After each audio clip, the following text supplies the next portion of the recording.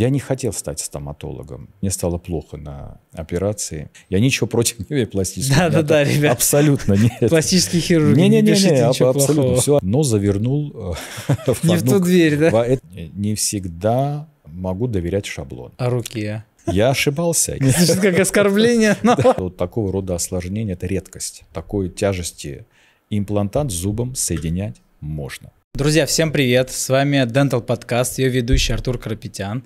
И сегодня у меня в гостях замечательный доктор, замечательный просто человек, кандидат медицинских наук Гарри Вачаганович Мовсисян. Здравствуйте. Гарри, приветствую тебя. Очень рад, что ты согласился прийти ко мне на подкаст. А, Маленький ликбез. Я обучался хирургии у Гарри Вачагановича довольно-таки... Ну, Короткое время. Ну, полгода, наверное, Ну точно да. я ходил, и это были такие э, первые такие прям серьезные хирургические моменты в мои, где там э, я учился правильно стоять возле хирурга, правильно работать ассистентом, то есть и учился довольно-таки многому, но не ортопедии. Но на тот момент я, по-моему, ортопедию особо и не хотел. У меня было, у меня была это хирургия головного мозга, и я получал прям все в достатке, находясь в операционной, в, в, в амбулатории операционной, где по всем стандартам прям для меня это было э, очень приятно. Спасибо большое за это.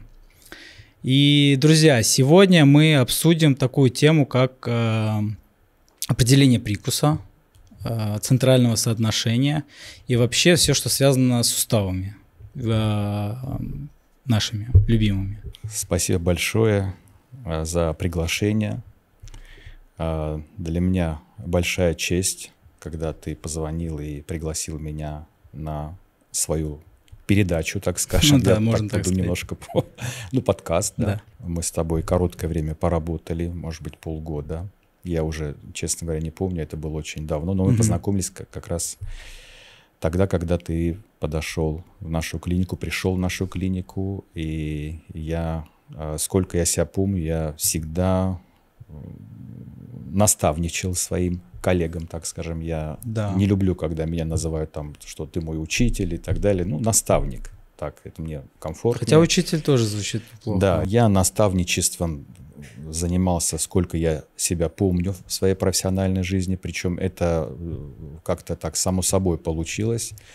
Мне а, нравится передавать свои мысли, свои знания, М, и я от этого получаю удовольствие.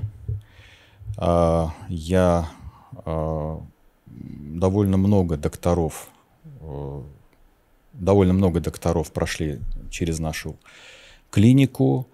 И, Взрастил, так сказать, да, вот а, этих ну, вот. это громко сказано, взрастил, но какие-то мысли я э, э, передавал, какие-то знания, и я рад, что многие из этих докторов это помнят. А, Мой опыт 28 лет почти в нашей специальности. А, Мне приятно. Ну, это любому человеку, любому специалисту. Не, приятно, Да, приятно. но это Ну, не делать... ща- Но еще надо уметь, э, так скажем, правильно преподавать или прав- правильно наставничать. Вот. Потому что ты являешься для кого-то каким-то эталоном. То есть ты должен, так сказать, не ударить грязь в лицо и должен э, научить человека не- э, делать правильно, а не делать неправильно. Хотя некоторые, мне кажется, могут и обучать, э, ну, по-своему. Это может быть для них правильно что-то быть. И э, да, я согласен. И э, скажу тебе, что я никогда за это э, э, не брал никаких денег. Я вообще это не монетизировал, хотя я знаю, что мои уважаемые коллеги, которых некоторых я А. знаю, да, они Довольно-таки это неплохо. Неплохо, да, это практикуют, это нормально. Я считаю, что за знания надо платить, но в моем случае это никогда не происходило за оплату. Иногда даже мои коллеги, когда приходили и просились на э, операции, на Мгм. постоять э, за спиной, как называют сейчас заплечный курс, Да. или там со мной, поработать немного, а, сами предлагали и удивлялись, что я в этом отказывал, потому что, ну, у меня, может быть, какие-то комплексы есть по этому поводу, кто-то меня может за это, наверное, осуждать, кто-то может сказать, что это, а, ну, немножко Не, ну... ценность снижает этого да. обучения, но дело в том, что я, здесь нет никаких принципов, это просто как-то идет, само собой получилось, Э, и мне всегда нужны, всегда нужны руки угу. в моей работе, в своей практике. Мы получаем как бы обоюдное такое вот э, э, обоюдную выгоду от наших вот взаимоотношений, взаимодействий. А сейчас, когда ко мне приходят мои коллеги, а, молодые, mm-hmm. да, у, нас может быть разница там в 15 лет, 20 Ну, как лет. я начинал, да, вот да, как я приходил. Да, я даже некоторые вещи уже у них а, даже так. начинаю, да, узнавать, потому что, ну, они, многие из них в тренде, многие из них посещают очень много курсов, ну, да. очень много стран. Ну, во всяком случае, до последнего времени, когда мир был открыт. И я уже э, начинаю где-то и сам э, учиться у них и даже э, спрашивать совета. Вот сейчас mm-hmm. мы работаем с одним моим молодым коллегой. Он студент третьего курса, но mm-hmm. уже работает руками mm-hmm. в другой клинике у своих друзей коллег но он помогает мне. Ну, он работает и у нас, и э, там. Ассистирует. Да, и угу. очень часто я у него спрашиваю, вот, Максим Сергеевич, как ты бы посмотрел вот. на эту ситуацию, ты бы что бы сделал бы, угу. вот. И мы, в общем-то, приходим к правильному решению. Вот ну, так. На самом Его деле... мысль плюс да. мой, мой опыт. Вот я а, тут соглашусь, мы... а, извиняюсь, что перебиваю. Да, а, тут вот в этот момент иногда какой-то свежий взгляд он иногда бывает полезен, потому что иногда мы смотрим на одну картину и не можем ничего придумать, и тут какая-то свежая голова может да. просто да. что-то вот сказать и навести на какую-то интересную мысль или на да. какое-то клиническое решение. Тут я полностью с этим согласен. Бывает так, что э, коллеги, зная, что я начинал хирургом, э, и, и, и есть хирург я, я им остаюсь, э, и помня или, может быть, по чему-то совету приходит ко мне на операции и думая, что сейчас увидит какой-то трэш-хирургию, какой-то там, mm-hmm. знаешь, какой-то тяжелый случай, какой-то... Когда да, да.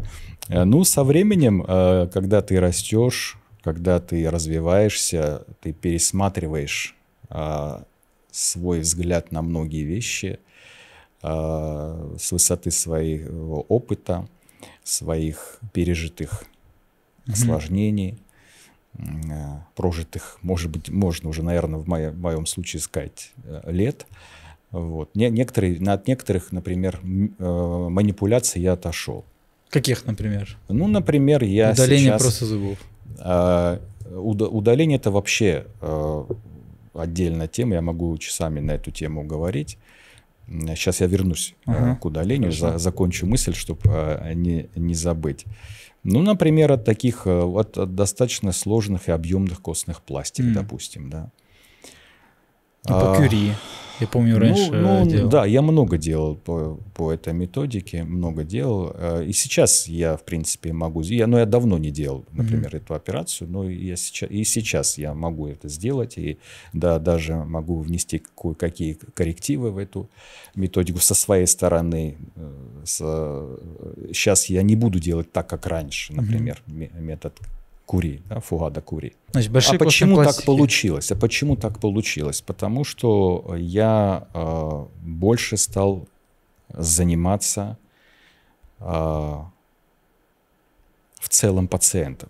То есть не данной проблемой, проблемой маленькой, да, которую я должен здесь, например, э, нарастить, нарастить кость, кость, установить имплантант. Нет.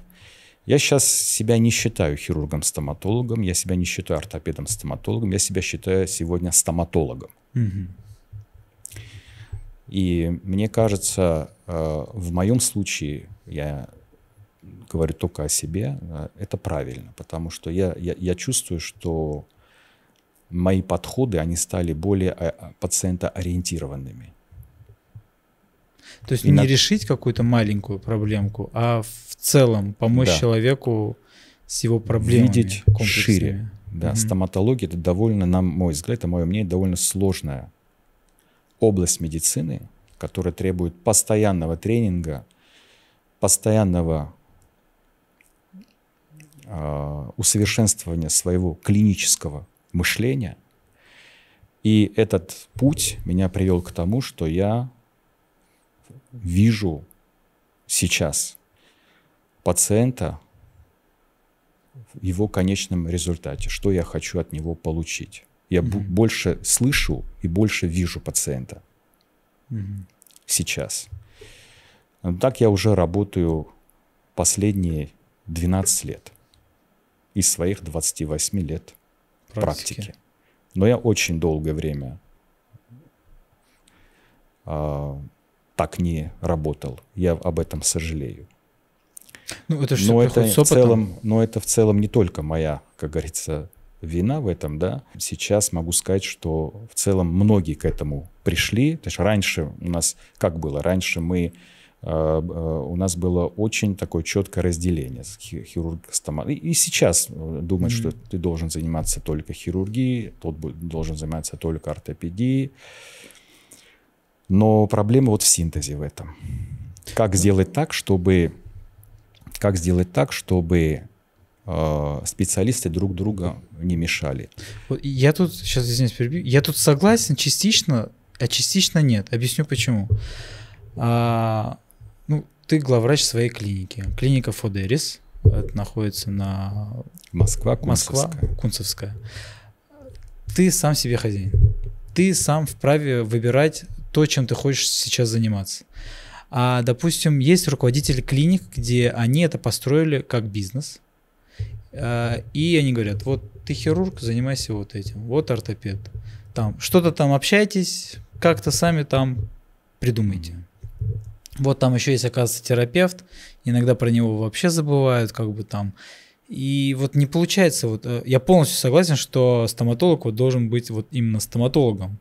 Он должен во всем в целом разбираться и понимать, как а, пациенту помочь. Но сейчас тенденция такая идет, каждый там пытается ухватить вот э, что-то свое. И вот он, лишь бы вот он свое сделал, и вот все, я вот там нарастил кость, поставил имплантат, а дальше вы уже сами разбираетесь. Вот в этом и есть проблема. Проблема. Я а, а, с тобой согласен, я являюсь в некоторой степени заложником того, что я организовал эту клинику. Ну, как я организовал? Это немножко э, не совсем так. Это семейный бизнес. Mm-hmm. Там, как, я имею в виду как специалист, стоматологическую часть я организовал. Да. да. И в некоторой степени оказался заложником того, что мне нужно было в этой клинике притворить качественное лечение, качественную помощь. Mm-hmm. Я не бизнесмен, я себя не считаю бизнесменом, и вряд ли я когда-либо им был и уже, наверное, никогда и не стану. Я специалист. Я себя считаю специалистом.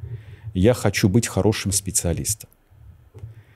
А, может быть, с точки зрения организации у меня было что-то неправильно, да, потому что я замкнул на себе всю клинику. Всю клинику. А, и без Может... тебя уже этот, так скажем, механизм не мог раскрутиться. Да, вот я стал заложником да. того, что я хотел все это выше, выше и выше и выше брать круче, такие, сложнее да, барьеры. И мне пришлось э, как раз освоить ортопедию, э, помимо хирургии, э, которую я уже практиковал с 96 -го года, практикую с 96 -го года. А потом функциональную стоматологию. Mm-hmm.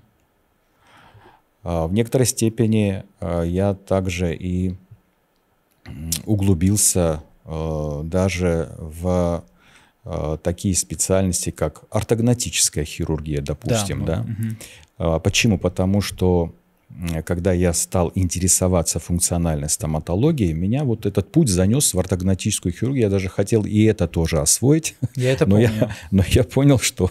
Ну, я тогда был еще молод, это мне, мне было где-то 35-36. Mm-hmm. Я понял, что ну, это уже э, ну, но это, не это невозможно, да, да, это невозможно. Не, я думаю, те, не, технически это возможно, но это сложность. Я организовал путь. в клинике дневной стационар, да. я организовал анестезиологическую службу, у нас все это у нас и сейчас есть, мы уже почти, по-моему, 15 лет, да, уже я работаем с анестезиологом, было. у нас по вторникам а, именно операции под, под, седацией. под седацией. А, вот. А, это все именно из-за того, что из-за своего максимализма. Возможно, это ошибка скорее всего. Но именно это привело меня к тому, что я стал стоматологом. Не, не хирургом-стоматологом э, хирургии ротовой полости. Я практически все операции выполнял и выполняю по хирургии ротовой полости. А именно стоматологом, то есть функ... с, э, с акцентом на функцию, mm-hmm. на эстетику, на правильную э, позицию имплантанта в полости рта, а, а может быть и не, и не только имплантант, в целом коронки, как она должна быть расположена mm-hmm. в полости рта, с какой анатомией, ну и так далее. С так какими далее. контактами, Потом, да? С какими контактами. Это отрицательный, может быть, мой момент, да, что я слишком слишком сильно э, на себя вот сконцентрировал mm-hmm. эти специальности. Возможно отрицать, но я, но я считаю, что это для ну, моей это практики. Путь, то есть, да, это мой ты как когда бы, развиваешься, путь, это, это же ну, логично, когда ты вот начинаешь изучать. Это мой путь, э, он где-то был осознанный, пройден, какие-то вещи э, появились в моей э, практике ну, случайно, неосознанно, но понравились. Ты про лазер случайно? Нет, не, по, нет? не прорал. Нет, нет, не, не про Я лазер. просто видел, я да. думал, вдруг я это просто случайно. эти направления осваивал и, в общем-то, ага. внедрял свою практику. Хотя у нас в клинике одновременно со мной выросли Э, несколько очень отличных, хороших врачей. Сейчас у нас есть отличный э, эндодонтист, э, реставратор, ну просто супер. А, и мы вместе проработали 20 лет, почти 20 лет, и я сейчас восхищаюсь, как наш, наша Мария Валерьевна Иванникова восстанавливает зубы. Я не могу отличить, где граница реставрации, где граница собственно, зуба, ткани да. зуба, и те зубы, которые идут под реставрацию, допустим, я даже Путаешься. иной раз даже сомневаюсь, а этот может это свой зуб, да? ли зуб, да, надо было. Да, я вот недавно ее поблагодарил за это, за этот пройденный. Но лучше так делать не надо. Сложный путь. В общем, мы росли вместе. Эта клиника ну, так называемая бутиковая, как сейчас ага. очень принято Ну, говорить. камерная, да? Да, камерная, это... бутиковая такая, она заточена на... Э, не на поток. Не на поток. Э, в общем-то, мы заточены на качество. качество. Мы и сейчас хотим видеть среди нас хороших э, врачей. Мы занимаемся их или пропагандируем их, ну, чтобы они образовывались, чтобы они часто обучались. Я очень часто спрашиваю наших врачей, а был ли он на этом курсе, на том курсе, на этом конгрессе, на втором конгрессе и так далее. Ну, при клинике еще надо сказать людям, что есть а, обучающий центр. Был. А, был. уже нет. Да, был. Я очень долго, ну, ты же знаешь, да. я преподавал еще в да, университете да, да. в свое время, ну, 11 лет это, своей да. жизни, да, посвятил преподаванию в Московском медико-стоматологическом университете. Как раз я преподавал интерном, ординатором, и первые врачи появились именно оттуда. Это постдипломные? После дипломное образование, да, а именно из, из МГМСУ. Ну, и не, не МГМСУ, а именно из моей преподавательской mm-hmm. деятельности, ну, из МГМСУ, да. Ну, то, что да. закрыл э, обучающий центр. Да, я почему закрыл обучающий центр? Ну, честно говоря, э, я этим увлекался. Мне, еще, повторюсь, да, да, очень долго увлекался. У, а, а, у меня одна из первых клиник, по-моему, да, которая транслировала операцию непосредственно в кабинет, кабинет обучающий. Обучающий, да, вот такой у нас был кабинет на 12 посадочных мест. Мы, мы операционной камере Специально была я на лампе. купил камеру в Германии. для этого. В общем, все это настроил. Ко мне уже из маньяки при, э, направляли mm-hmm. интернов ординаторов на эти э, курсы. У меня был свой курс по хирургии. А, в общем-то, я это долго делал. Ну, потом ну, как-то я немножко Но в то же время ты очень много QRI делал, насколько я помню. Хотя ну, я когда пришел, по-моему, уже не так много, меньше. Не так много. Э, я не считаю, что метод Кури э, это ну, такой... Это, скажем так, это одно время был такой хайп да, я когда знаю, вот да. все начали вот делать. Да. И в целом у него есть, конечно, свои позитивные какие-то моменты, но и отрицательные тоже есть. Да. Поэтому тут как бы многие побаловались и потом поняли, что все-таки это травма. Травма довольно-таки, ну, не маленькая. Хотя в каких-то моментах она даже по сей день может э, вырулить в какой-то ситуации. Я, по-моему, из России был во втором потоке докторов, mm-hmm. которые к нему ездили. Он тогда был очень популярен в мире, ну, угу. как нам рассказывали в мире, э, популярен. И мы ездили к нему учиться. Для, да, конечно, для нас это был э, космос, как брать э, блок из ткани, пересаживать. И он mm такой давал довольно э, быстрый, э, в общем-то, эффект. Э, натив, э, не нативной, а собственной кости, не нативной, извините, а собственной да. э, нарощенной кости. Я работал, я немало оперировал по э, кури, но э, я э, отошел от mm-hmm. этой методики, потому что в моей практике появились и другие методики косвенно направленной регенерации. А сейчас я от этой методики я немножко отошел. Я сейчас э, не так сейчас часто... Сейчас уже имплантаты да. Байкон? Или пока нет? Нет, я сейчас, э, я сейчас я от этой методики тоже э, отошел. Последнюю э, пластику костную ага. направленной регенерации я, наверное, сделал где-то месяцев 6 тому назад. Сейчас а, я больше, конечно, а, предлагаю пациентам более легкие Путь решения. Путь решения, да. Так, и какой это импланты это? под углом. Ага.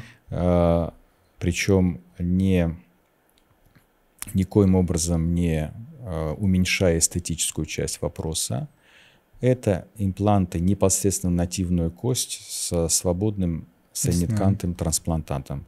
Сейчас у меня почти 100% операций это имплантант плюс свободная мягкотканная аугментация. аугментация. То есть 90% случаев я решаю Но сейчас у меня практически эти, то же самое. эти проблемы именно таким образом.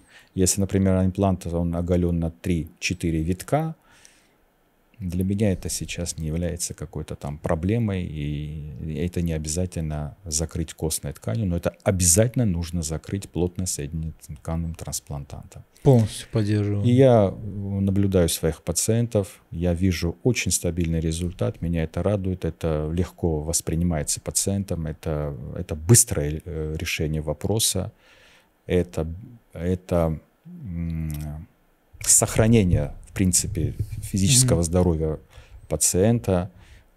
Правильно ты заметил, это меньшая травма, ну, практически. Практически. Да, да. Ну, скажем так, это ну, не всегда тоже везде возможно, потому что иногда наши костные условия Согласен. диктуют так, что Согласен, даже да. мы ни глубже не поставим, ни под углом. Согласен. Здесь все-таки нам приходится восстанавливать каких-то процентов. Я, например, удивлялся, как я это не видел это раньше. Где а были мои глаза? А я вот, вот надо было с Байконом познакомиться. Вот, это, наверное, будет следующий этап. Следующий этап. Мы с тобой, когда потом, после подкаста, ты э, посвятишь меня в эту тему. Я переехал в Москву э, в 96 году. Я закончил Ереванский государственный медицинский э, университет, факультет стоматологии. А, я приехал в 96 году в ординатуру угу. в Московский медико-стоматологический университет на кафедру челюстно-лицевой хирургии, хирургической стоматологии. На училище, да? Да, да, да, да, на училище. Я прошел а, ординатуру. Два года было, да? Два года тогда было. И знаешь, что самое интересное? Я а, два года учился, думал, я должен стать челюстно-лицевым хирургом. Я, в принципе, туда и поступил, чтобы Ага. стать челюстным хирургом, но мне сдали диплом хирурга-стоматолога. Я так был разочарован.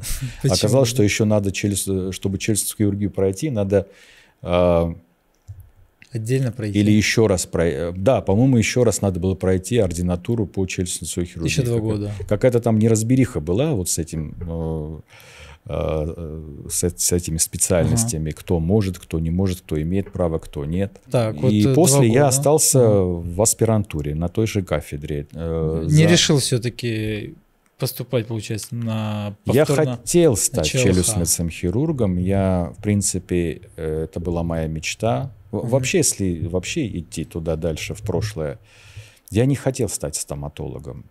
О, вот с Да, этого надо начинать. С этого надо начать. А, Я из семьи врачей. Так. Мой отец был хирургом. К сожалению, сейчас его нет. Э, Мне было 16 лет, когда он ушел из жизни. Но, а, а мама терапевт. Слава богу, она жива-здорова сейчас. А, И а, меня всегда э, его образ отца, вот хирурга, вот восхищал. М. Я даже помню, что я одевал его хирургическую форму тайком от него и ходил дома по квартире. И себя, это было мне, наверное, лет Чувствовал себя 14-15, Мгм. чувствовал себя хирургом. Я один раз попросился к нему на операцию. Он долго не хотел, чтобы я...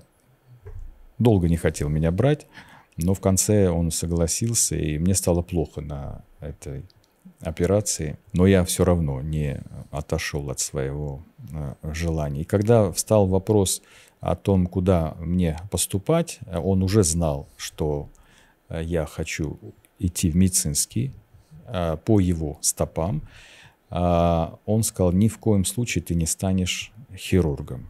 Ты, если даже пойдешь в медицину, ты пойдешь в стоматологию, М. но не в хирургию. Не в общую хирургию. Это очень тяжелая специальность, это очень э, такая... ну, Такая. Ты постоянно в больнице. Да, здоровье специальность. И он был э, э, ургентным хирургом. Мгм. Он работал в институте скорой помощи там, э, в Ереване, с академиком Авдалбекяном. э, В его институте он работал. И э, я помню, что он очень часто дежурил, очень часто. Даже если он не дежурил, тогда было понять такой резервный хирург. То есть его могли вызвать в любой момент ночью, и он был обязан встать и уехать э, оперировать ночью, Мгм. как резервный хирург. Видимо, поэтому он...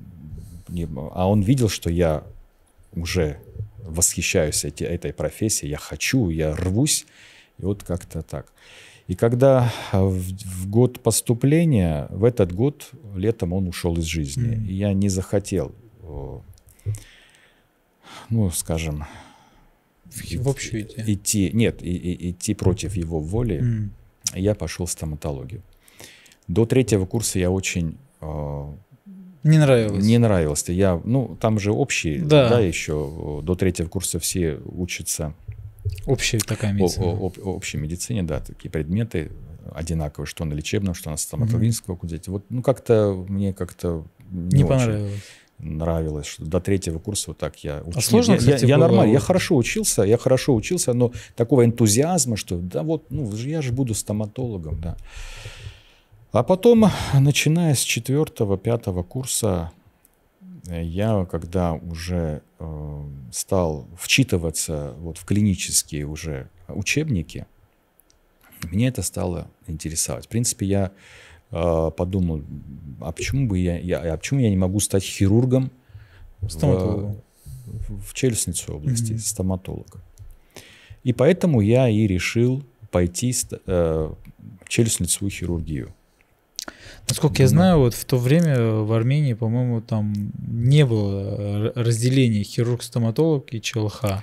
По-моему, нет. Да, а а вот здесь, в России, да, насколько я помню, было вот это разделение. Ну, Насколько для нас тогда, в 90, 90-й год, в 96-м, 97-м году Москва была это последняя Ну, это... инстанция да, Да. в этой специальности. Вообще, на, на- на- лишь бы попасть сюда, в институт, и ты сто процентов станешь специалистом. Вот такое у меня было, Да. во всяком случае, представление.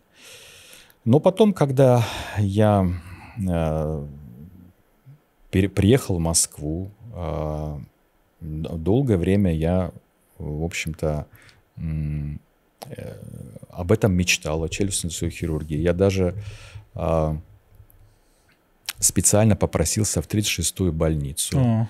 Работал я э, в отделении с мною очень уважаемым Арас Аркисовичем Ханзратян. Это мой наставник. Угу. А, а, с Асланом Течиевым, это тоже мой наставник. А, шикарнейшие они хирурги в, в травме. Это, ну, травма, я не думаю, что ну, Ханзратян высокого уровня вообще Ну, там хирург. по уровню да. ЧЛХ, мне да. кажется, выше, чем везде. Да, и я очень многому научился у них. И я уже в 25 лет э, свободно делаю остеосинтез, я оперировал сустав, все я делал. Ну, имеется в виду, в рамках mm-hmm. травмы имеется в виду, все я делал.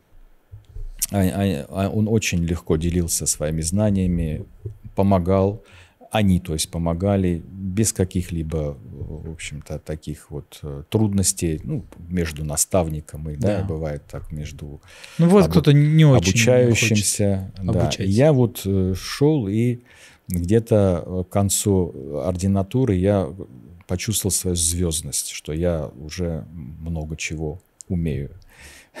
ну, конечно, я ошибался, сильно ошибался. Вот. А потом э, получилось так, что... Это мы... вот в момент два года обучения в ординатуре, да? Или это да. уже после? И два года в, обучения в ординатуре, и в, в аспирантуре. А, и в аспирантуре. Я еще все. успел побывать э, в, в госпитале, железнодорожном каком-то госпитале, ну, ага. ведомственно, и даже онкологию я там, ага. голова и шея, там тоже я э, стоял и помогал э, врачам. То есть я хотел в, в челюстевой хирургии освоить все. А, я думал, что я хочу еще и пластику освоить. Вот я все хочу освоить. Для меня это вот что все, все, все, все, все, все, все. Да, даже сосудистую, микрососудистую хирургию. Но посмотрев один раз онкологическую операцию, mm-hmm. то есть не посмотрев один раз, а ну, ну и посмотрев и, и поучаствовав, mm-hmm. Потом э, пластическую операцию, лифтинг, фейслифтинг а, ассистировал я. Я понял, что я этого не хочу.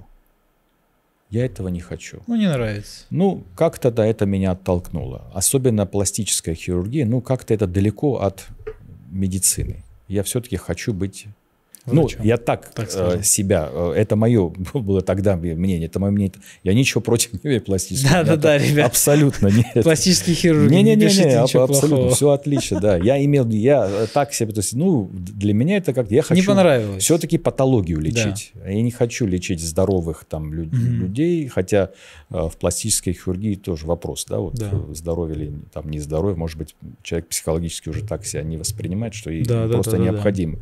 пластическая хирургическая операция. То есть мои, мои, мои представления немножко были, в общем-то, э, Сначала ожидания были ожидания большие, большие, большие, а уже в реальности на Земле уже получилось. А потом мы пришли к чему-то узкому. Кандидатская в этот период была? Кандидатская, да, я защитил кандидатскую. А тема какая была? Тема у меня была по гнойной хирургии. А. По гнойной хирургии. Я защитил за... То есть аспирантуру я прошел за два года, два месяца и защитил раньше срока. Mm. Я был один из немногих, которые не все три года проходили аспирантуру и даже сэкономил. Я помню, я был на, вот как а, иностранец, я еще mm-hmm. тогда был и, иногородним, и, иностранцем, да, получается, да. из другой страны, я э, э, не попадал никоим образом на бесплатную аспирантуру, mm-hmm. я сэкономил один год обучения. обучения это тоже стимулировало меня быстрее. Ну, редко же так, когда они соглашаются, да, раньше времени нет на подтверждение. А, они э, Или не то, то что даже было? мой э, руководитель Виталий Сергеевич Агапов, он даже горди, я помню, как он гордился мной, что я, я э, за так два бы, года. да, за два года два месяца даже ставил меня в пример своим э, сотрудникам, которые ныне работают на этой же кафедре. Ну, он, уже покойный, Виталий Сергеевич Агапов. И я один из таких первых а, аспирантов был, который во время защиты диссертации не читал по бумаге. Mm. я рассказывал свою, свою работу. работу. Выделено было там то ли 15, то ли 20 минут на это. И он прямо вот, э, я видел, как он хорошо себя чувствует. Я вот там внизу стою на, да. на, в МГМСО. Они, это, они наверху. Если ты знаешь МГМСО, да, да, да, там да, он а, это зал такой, э, ну, профессора э, сидят, да. да, на, ну как это называется? Сверху, ну, да, сверху вниз они да. смотрят. И я вот когда смотрел на него э, снизу, ну лекционный он, зал такой, да, да. Не... И он так вот, ну, ему глаза сверкали от гордости, что я э, вот не читаю четко, по бумаге. Без четко, все да. рассказываю. Вот. Потом мы э, организовали клинику. Я это сразу после? Женился, а? Это сразу после... А, как только, вот только-только... То есть ты не успел поработать где-то там в клинике? Успел, успел, да. Я в двух клиниках поработал, довольно таких посредственных. А, у Работа меня нету, ради работы. У меня нету... Не-не, почему ради работы? Я хотел... Я и терапевтом работал. Ну, как все начинают. Угу. Терапевтом работал, хирургом работал. Но, но ортопедию я уже начал в своей клинике осваивать. И вот мы организовали семейную... Да, я кор- кор- очень короткое время угу. поработал в этих э, частных клиниках. Э, почти ничего не запомнилось из этой работы. И я... Э, и, и, и, и, и моя жена тоже стоматолог. Э, и мы организовали семейную клинику. Ну, ты понял, что хочется свое. Да. Ну, появилась возможность, значит, семейную клинику организовали.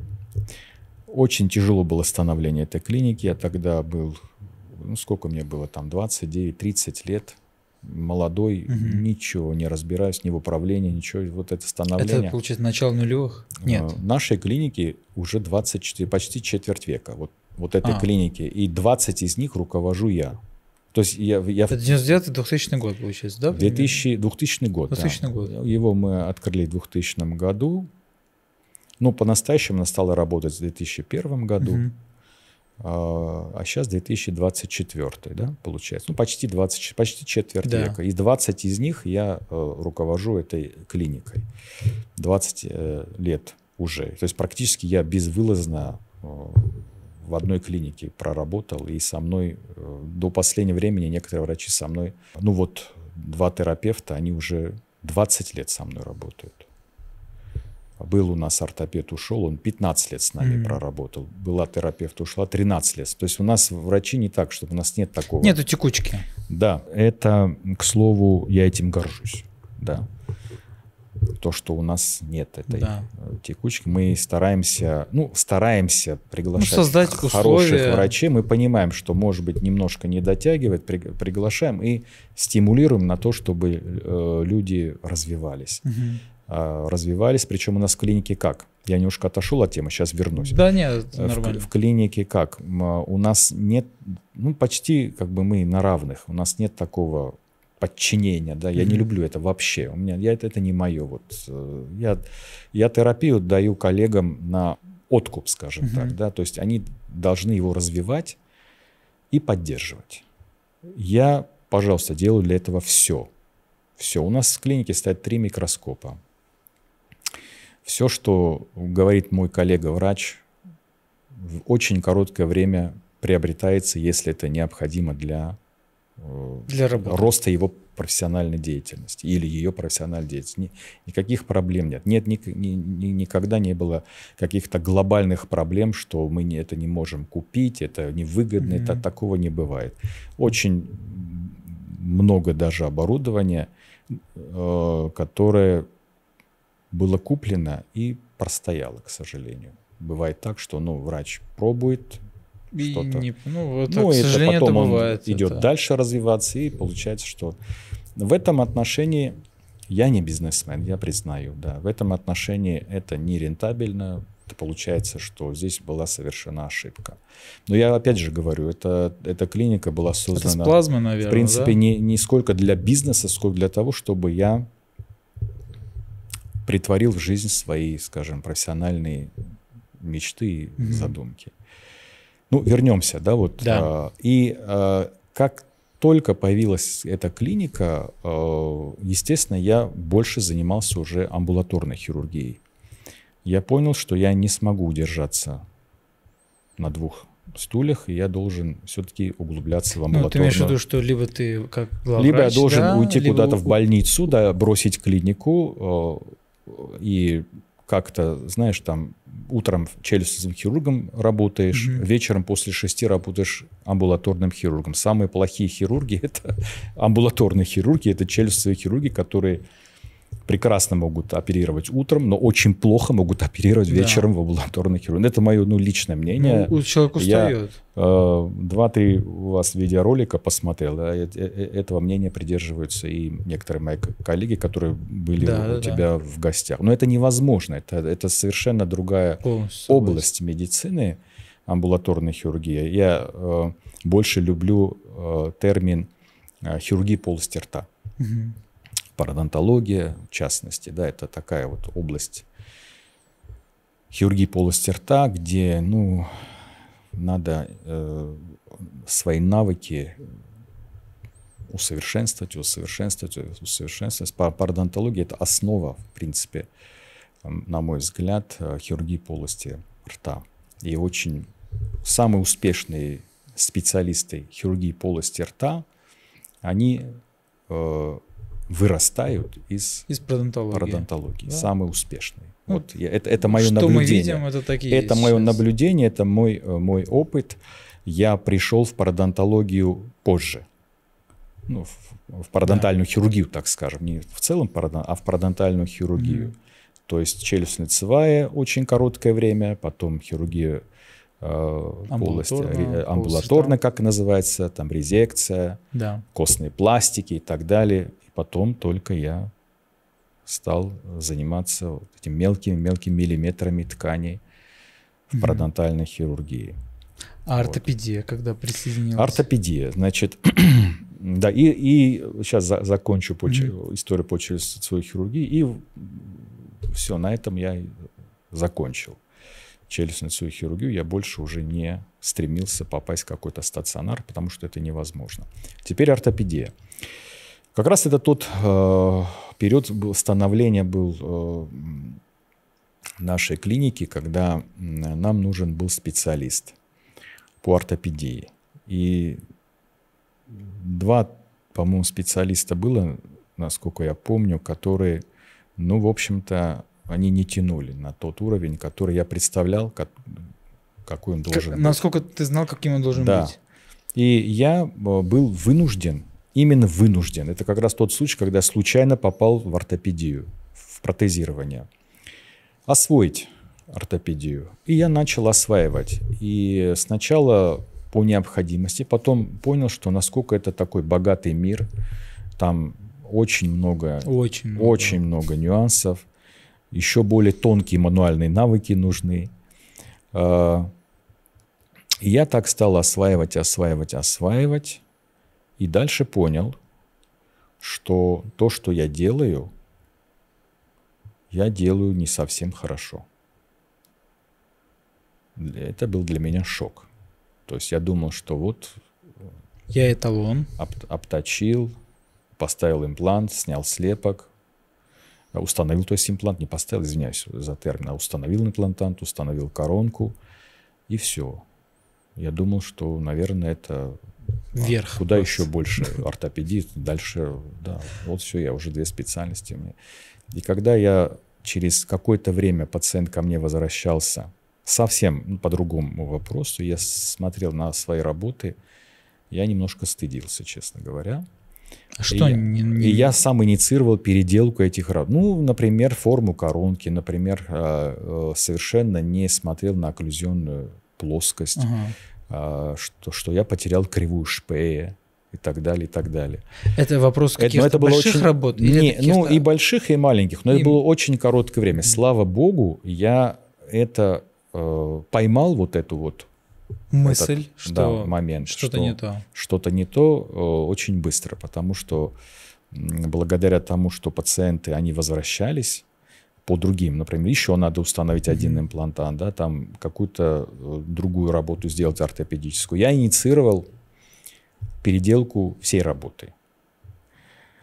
А, и сейчас, если я увижу какой-то дефект, я синициирую переделку всей работы совершенно э, если, например, это очень короткое время прошло, совершенно бесплатно. То есть, ну, для пациента бесплатно. А, как раз вот сейчас идет одна работа, которую я просто заметил, что есть э, определенная проблема, но ага. проблема не во мне, а проблема в, в материале, который а. мы установили, да. И что-то так там, то ли обжиг неправильно прошел, то ли что, ну, какие-то пошли нарушения в, в кристаллах ага. оксида циркония, и мы инициировали э, сейчас переделку работы совершенно без... Но это редкий, конечно, очень редко очень редко. Ну, материал... И я стал, углуб, углуб, стал искать ответы на свои вопросы. И вот меня вот этот путь занес в функциональную стоматологию. Угу. Это принято называть гнатологией. Я не люблю этот термин. Почему? Ну, потому что как-то он звучит не очень. Не нравится просто Мне нравится функциональная стоматология. Я специалист по функциональной... Я специалист по функциональной То есть если человек приходит и говорит, я врач-гнатолог, я специалист по функциональной стоматологии. В целом я сказал уже, я сейчас, я, я сейчас э, считаю себя стоматологом. стоматологом. Да. Uh, да, я... Ну, uh, такая я ветвь, как обладаю... гнатология, она же присутствует. Так это и есть, функциональная стоматология. Да, это, это есть, так да. скажем, уже Да есть, конечно, да, да, гнатология, да, говорят. Ну, я просто как-то... Да, не, да. Мне нравится больше там фун- да, функциональная все. стоматология. И я uh, стал углубляться, углубляться, и, и где-то... Кто были те самые первые люди, кто привели тебя, так скажем, вот в это? У нас работали э, ортодонты, я помню даже их, э, Богатырьковы, да, братья Богатырьковы, вот они вот делали, сами делали первые шаги угу. в этой функциональной стоматологии. И как-то я прислушиваясь к их советам, ну, мы беседовали часто, а, он ходил очень на многие курсы по, ну, по ортодонтии, по да. своему направлению. А, и я понял, что я тоже хочу. Я тоже хочу освоить это направление, потому mm-hmm. что я чувствовал, что это мне нужно. Мы тогда уже там в году в нулевых уже купили артикуляторы, все это было. САМ, а, наш первый артикулятор. И э, мы стали, то есть я стал развиваться. Вот, но они потом ушли, они организовали свою клинику, а я стал дальше развиваться. Потом я захотел какой-то момент, ну, мы же с прикусом работаем, mm-hmm. да, вот ортогнатическую хирургию, то есть вернуться в челюстную да. хирургию, но я понял потом, что это, ну, не совсем правильно. А, и после этого, когда я здесь э, несколько курсов прошел по функциональной стоматологии, в том числе уважаемого мною врача Антоника Михаила Михайловича, mm-hmm я понял, что я пока не поеду за границу обучаться. Первоисточнику. Да, я, наверное, это невозможно здесь, в России, освоить так, как это нужно.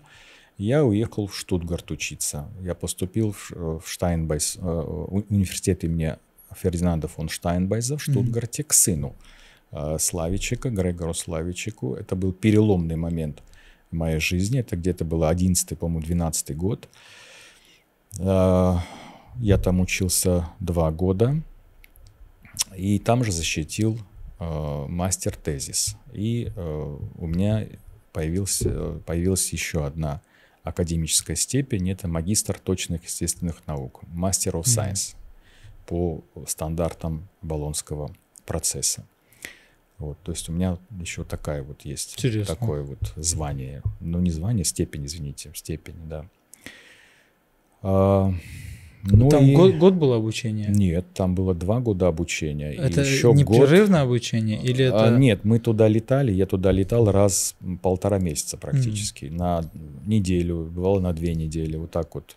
Это семинары какие-то, да, были? То семинары, есть... лекции там, ну, на целую неделю. Ты едешь ага. туда на целую неделю. И год еще, то есть к двум годам плюс еще год подготовка этого мастер-тезиса. Ну, как наша диссертация угу. по кандидатской. То Я вот там защитил. защита, это же, наверное, не обязательная была? Или она была обязательной?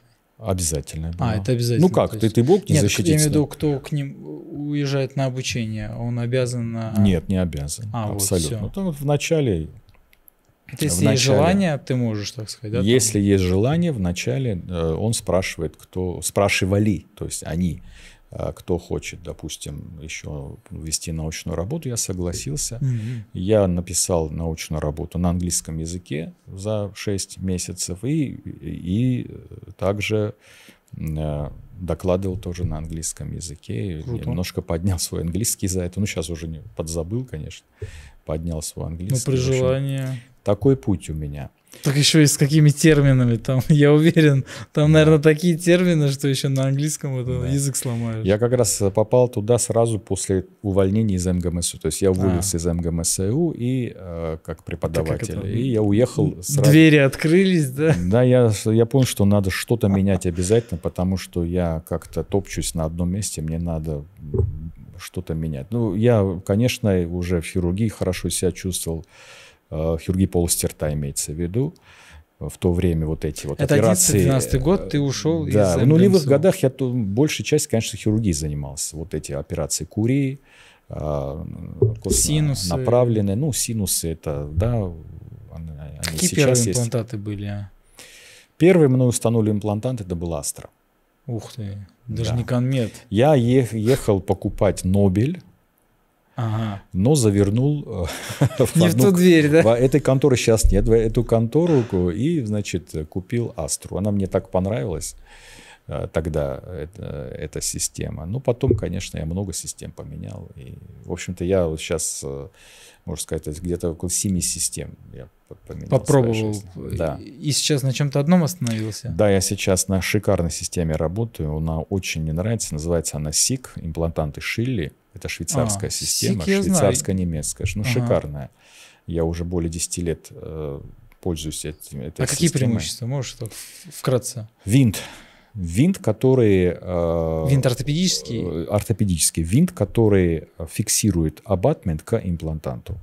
А, Они, э, они разработали такой винт, который не развинчивается. Или развинчивается крайне редко. Крайне редко. А, Одна из болезней не- многих систем, не будем называть Мгм. по именам, то, что э, Винт через какое-то время винт и абатмента может расслабиться, и ты Да. должен переделать всю коронку. Или Э, сделать... На минуточку, э, чтобы вы понимали, ты с винтовой фиксацией не работаешь. Работаю, почему А, не работаешь. работаю? Да, я имею в виду цементная фиксация. Всё. Когда цементная фиксация, Цементная, да, это ужас Да. тогда вообще. ты Ты попал. и да, тебе приходится, и причем, например, ты установил коронку, и через год-полтора он расшаталась. А, Даже если ты все это сделал, не даже, а ты делаешь все по протоколу, да, ты э, закручиваешь этот винт ну, как ортопедический. э, установлено а, показаниями. там да, 20-25 ньютонов, как и по, по показаниям, Рекомендациям. рекомендациям производителя, и он расшатывается, и тебе приходится просто переделать коронку. Это, мне кажется, ну, не то, что я уверен, что это на имидж клиники, имидж врача А сказывается, конусное? отрицательно сказывается. Конечно, это будет отрицательно. А у СИК Да. у СИК есть и отрицательные, а, фу, И извините, конусное, и, и конусное соединение, конус Морзе и плоскостное. Но я больше работаю с плоскостным Почему? Вот это хорошо. Почему удобство Ну, ро- а- ортопедического протокола э, для меня в плоскостном больше? М. Именно в этом, именно в этом. Друзья, в этой напишите, системе. пожалуйста, ваше мнение. Вы В за конус или за плоскостное соединение? Просто на самом деле действительно есть категория людей, которые за Я- я плоскость, знаю, да. И есть за конусность. Но подожди, ты очень долго работал на Ксаве. Там разве не конус был? Нет, на Ксаве только плоскостное. А, только плоскостное. Да, только Все, плоскостное. тогда тут получается, ты уже Только просто плоскостное. привык к Я этому. на, и на анкилозе работал, я и на... Ну, анкилоз А. там такой, чересчур такое соединение. Там у них, конечно. Ну, конус Морзе, настоящий конус Там Морзе, настоящий, когда ты да. не сможешь снять э, абатмент просто руками, это надо или винт-экстрактор применять, или шипцы брать применять. Тогда, Ну, там, я не знаю, как сейчас, у анкилоза тогда не было винта- винта-экстрактора. Да. И э, конус Морзе, и у э, российской системы Ирис, то, что называется Мгм. Лико, да, Лико или Ирис. вот. Лик, да, да, да, Лико да, или Лико. Ирис, но у них тоже, ну, там это продумано, там конус все-таки Морзе э, раз единяется с помощью винта экстрактора. То же самое есть у Исика, у него тоже есть конус Морзе. Но мне удобнее, э, мне удобнее С плоскостным. э, плоскостным. И, да, я в общем, проблем нет, получается, да, то есть э, в плане развинчивания абсолютно. за счет какого-то хитрого Абсолютно. винта. Вот я хотел... Это что-то типа наподобие винта Розен. Господин Шилли, Ага. это вот разработчик этого импланта, он, имплантата, он работал раньше в Штраумане. ага. И он собрал всю информацию со всех систем на тот момент, когда он хотел свой, свой собственный имплантант разработать. А, все отрицательные и положительные стороны всех ну, европейских Плюсы и минусы. плюсы да. и минусы систем. И э, увидел, что во многих системах есть эта проблема развинчивания абатмента. Мгм. Из-за этого врачи очень часто отказывались от, э, от того, чтобы применять ту, Ну, или, ту или иную да. систему имплантанта, у которых раз- развинчивается винт. И он специально сконцентрировал свое внимание На этом. по техническому решению этого вопроса. И они решили этот вопрос. Они разработали такой винт абатмента, который практически не расшатывается. Годами ты можешь его Он что, конусный какой-то? Нет, я не знаю. На самом деле я не знаю. Есть там Это как в фильме хитрость. Челентано, там есть секрет. Я, действительно, ну нет, это просто они пишут, что э, это одна из достоинств этого, этой системы. Я, когда выбирал его, я именно обратил на... э, Это был ведущим признаком, по Ну, которому это я... э, то, что ты выбрал. просто хотел в своей работе исключить. Это то, что, так Совершенно скажем, это тебя триггерило, да? Это где- крайне неприятно, когда Да. ты, когда тебе пациент звонит и говорит, у меня расшаталась коронка. Это, это, ну просто, ну, ну катастрофа. Я, Ты в этот день просто, говоришь, что ну, я чуть плохо себя чувствую, Не. ну приходится пациента срочно принимать, потому что ты понимаешь, если ты Это сейчас... твоя ошибка. А, да, ну, это, конечно, расценивается. Если ты сейчас не примешь, может сломаться винт, может э, Сломаться даже стенка имплантата. Стенка, совершенно верно, да, стенка имплантата. У меня было пару таких Идет случаев. резорбция костной ткани. То есть там это череда осложнений, Да. которые, м, ятрогенных осложнений, которые могли и не быть. Могли и не быть. Это очень, э, э, я считаю, это очень серьезно. Ну, как минимум, если у тебя уже вот это э, кольцо, да, которое у тебя там зажило, да, оно уже э, разъединяется, это уже наносит травму, Да. и вот вся работа как будто на смарку. В конусе Морзе этого нет, в конусе Морзе. То есть нет там, там вин, не, не винт определяющий. Да, В этом он э, преимущество. преимущество его. Но Ну, главное, ты нашел то, что э, да, мне нравится, пло- нравится. плоскостное. Шаблонами работаешь? Только э, При высших? пилотными. пилотными. А, только пилот. Да, только У них пилот. нету набора под полный протокол? Есть. Есть набор под по- полный Но? протокол. У, у- меня шаблон э, отечественный, э, извиняюсь, система для изготовления шаблонов. Это- Гильзы имеется. Это имплант ассистент. А, Да, все, я Э, понял. это пилотное такое вот э, фрезерование. Почему? Потому что я сказал, что я в 100% случаев практически я э, э, выполняю открытую хирургию, И, и у меня подсадка соединительной ткани. И? И у А где меня, связь? а, ну, во-первых, э, я не всегда, э, скажем, могу доверять шаблону. А руке? Руке могу доверять, поэтому Но у нас я, тоже может я пойти и- иду чуть-чуть на, пи- не так. я иду на пилотную по- подготовку через шаблон. Ну ты же понимаешь, А что если у тебя хорошие с- э, сверла и условно там мягкая кость, у тебя все равно может пойти чуть-чуть угол не так, и ты даже это вообще просто не заметишь. В шаблоне. Нет, если так я и говорю, у меня шаблон 100% применяется только на пилотном. Нет, я имею в виду, если смотри, если ты делаешь э, имплантацию через полный протокол, ну э, ты понимаешь, что если у тебя втулка твоя Да. зашла в кольцо, то ну, ты в правильном направлении, как, которое ты и планировал. Да, но единственный момент, что может там чуть-чуть отличаться, допустим, то, что было на КЛКТ и там сопоставили, там могла быть какая-то ошибка в сопоставлении, но она может быть минимальная. Но когда ты работаешь, допустим, сначала пилотным ты прошелся, ты же не обязательно, что этим пилотом проходишься там на всю длину. Как правило, ты этим пилотом проходишься там, ну, там на одну треть какую-то там в начале, а потом берешь уже стандартное сверло. И уже начинаешь сверлить. И в этот момент ты все равно можешь, если, допустим, несколько ставишь, я не говорю там про один имплантат, но имею в виду, если нескольких подряд, то у тебя там вот может быть какой-то вот разность э, угла. Ты имеешь в виду, когда ты отложил шаблон? Ну да, естественно, если ты пилотными пошел... прошел, только ты же его уже откладываешь. Ну, и дальше уже... Смотри, отчасти я могу с тобой согласиться, отчасти нет. Ну, во-первых, э, ну, есть еще и опыт э, врача, да, Сто процентов. Да, это тоже надо учитывать. Начнем с того, что не всегда то, что выдает мне томография плюс угу. планирование является правдой. Шаблону на Земле, как говорится, является то, что ты видел на КТ, как у тебя стави, установленный план. Понял, да? Да, да, да, да. Не, я тут согласен. То есть там была картинка да. одна, да. Открываешь а другая сейчас, чуть-чуть. а сейчас ты открыл другая.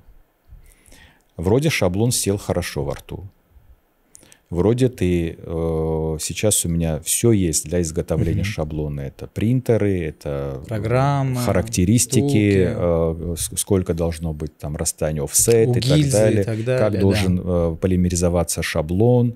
Я все через это прошел. Может быть, я неправильно полимеризую шаблон э, после угу. его принтования, да, и может быть не, не тот э, может фото, быть, зазор фотополимер, может быть, я все через это прошел. Э, вот. И, ну, нет полного доверия а, то, что ты, то, что ты видишь перед операцией, когда ты планируешь, что будет а, на самом деле. Да. Я, не, я не говорю, что это все. Точность очень. Сейчас у меня пилотная э, подготовка угу. очень высокая точность. Но бывало, что точность чуть-чуть Бывает. Да. Шаблонами. Бывает. Да, бывает. Тут и надо тогда, всегда поэтому помнить. И тогда, а если, например, ты идешь через закрытую хирургию и вот я эту неточность не, не, не видишь? Так вот я никогда не иду и никогда не советую никому. Вот, то есть от, ты за открытую Я, я всегда открытый. открытую. Всегда открытый. Вот. Ну тогда в чем э, тогда э, смысл получается ну, идти подожди. до конца? Сейчас я за, закончу да, да, мысль. мысль. Дебаты пошли чуть-чуть. Потом я сейчас Э, пользуюсь не стандартными фрезами из набора. У меня сейчас 100% операций это набор денса, это осиоденсификация. А, э, когда кость конденсирует, да? Совершенно верно. И на да. нижней челюсти то же самое? Очень часто. Ага. Очень часто. То есть у, я, я не видел э, пока что в я России не работал нету, фрезами, но нету, я знаю, что нету Аналогов. полного протокола. А, под них нет, по-моему. Есть. В, в Америке, Соединенные Штаты а, говорят, есть. ДНСА выпускает а. э, навигационный набор. Вот, но я не видел его в России. Но мне принципиально работать именно э, Ими. ДНСА. Да. А. Я, особенно в верхней челюсти, только денса. Для меня это ось, ось э, денсификация. Обязательно. Вот это, вот это интересно. Я не работал. То есть я вынужден уже Отталкиваться от сверл. От того, что я применяю в своей работе. Вот Потому что там, там целая, ось идентификат, там целая философия. Да, я знаю. Наш да. Э, соотечественник, очень уважаемый, по-моему, я забыл, как его зовут. Пусть он меня простит, если он сейчас э, слышит. Он очень уважаемый. Он как раз он читает лекцию на эту тему. А, вспомню, скажи ну, после подкаста, извини, пожалуйста. Это вот а, а, он читал лекции в, в Альтракор. Альтракор. В, в Альтракор, да. Альтракор. Не Есть подскажу. такая Я знаю, да, да, но фирма. Не подскажу, кто. Которая продает импланты. Я думаю, ребята, наверное, сейчас да. понимают, о ком идет речь. Да, да, мы, да, наверное, да. уже где-нибудь здесь да. внизу на да, видео я, написали. Я после, да. общем, и мне очень понравилась вот, вот эта вот философия, философия осиоденсификации. Это второе. Угу. Вторая причина, почему именно у меня пилотная. Ну, третья причина, я сказал, мне э, принципиально восстановить архитектонику. Э, Десны. Ну, то, что Архитектонику э, альвеолярной части. Это или что-то из методики IDR, да. непосредственно, да, там костный блок угу. с тубера вместе с мя, или чисто соединительный тканный трансплантант. То есть практически я провожу и костную, и сейчас я провожу в костную, но это такая минимальная, такая минимальное вмешательство с точки зрения травмы пациента, угу. что, что поэтому я и не применяю э, полный, Полный протокол. протокол. Хотя ничего против полного протокола Ну, абсолютно Ну, как не, мы не уже имею. поняли. Да, это чисто исходя из тех инструментов, которые я применяю. Да. Ну вот, э, да, вот Все тут уперлось вот набор Денса. Ну, нету Не, в ну, а- России аналогов таких нет, да. Денса. Аналогов Да. таких, конечно, нет. А, остеоинтеграции. Я вот что Остеосодификации, извините. Я вот что вспомнил. Да. Мы, конечно, отвлекаемся от нашей темы, но я думаю, ничего Да, страшного. да, да, да, извините. А, я помню, я когда к тебе ходил на обучение, ну, так скажем, на тестирование, да, обучал, обучался, и на тот момент у тебя был панорамник. Да. И, но я уже помню, что на то время вот а, КТ уже вот потихоньку там уже все начинали делать, как бы, и я всегда спрашивал тебя, почему ты там вот э, не, не, не купишь там КТ или не направишь пациента на КТ? Ты всегда говорил на тот момент, что в этом нет необходимости, многие переоценивают а, КТ и используют его, так скажем, а, не всегда ну, не, так сказать, много используют, не всегда, когда нужно. И, но потом, через какое-то время, ты приобрел КТ. Я ошибался. Вот тут может быть то же самое шаблон. Я ошибался. Я, я ошибался. Потому что... я ошибался. да, Видимо, я был тогда эгоистом. У меня стоял панорамник. да. И раз у меня стоит панорамник, зачем мне отправлять? Я ошибался. А, и сейчас, скажу, уже у нас в клинике давно уже, было. уже лет 10 стоит КТ. Да, давно Не только было, КТ, да. но и цефалостат. Мгм. Это уже наш для наших функциональных, и для ортодонтов, и для наших э, пациентов по функциональной стоматологии. Я ошибался, потому что без КТ сейчас работать очень сложно. Да я бы сказал, невозможно. Мне, наверное. да, лично мне очень сложно. А, ну, во-первых, я уже имея панорамник, э, когда я отвечал на твой э, вопрос, да, после этого я все-таки стал направлять на КТ, особенно когда я уже подсел на навигационную э, хирургию. Да, тогда же только начиналось вот это навигационное, вот это пилотное, Да, да, да, только-только да, да, все да, вот да. развивалось. Тогда был необходимостью вот это КТ, то есть я уже стал направлять.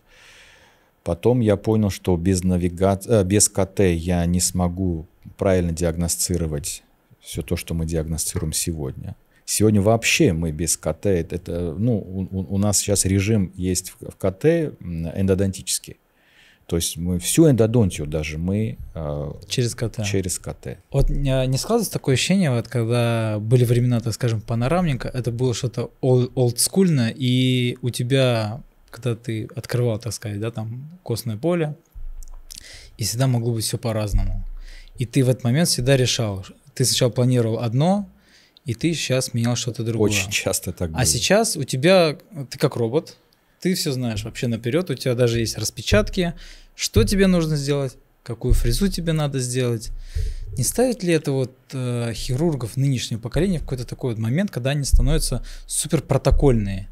Но это ведь хирургия такая профессия, где ты не всегда должен придерживаться прям протокола. Ты иногда должен уметь и понимать, в какой момент ты можешь свернуть как-то по-другому это все сделать. Когда был панорамник, очень часто, когда мы открывались и думали, что мы будем работать по одной схеме, а получается, мы должны включить голову, Мгм. по, как говорится, э, немножко повнимательнее, Да. э, э, работать уже по другой схеме.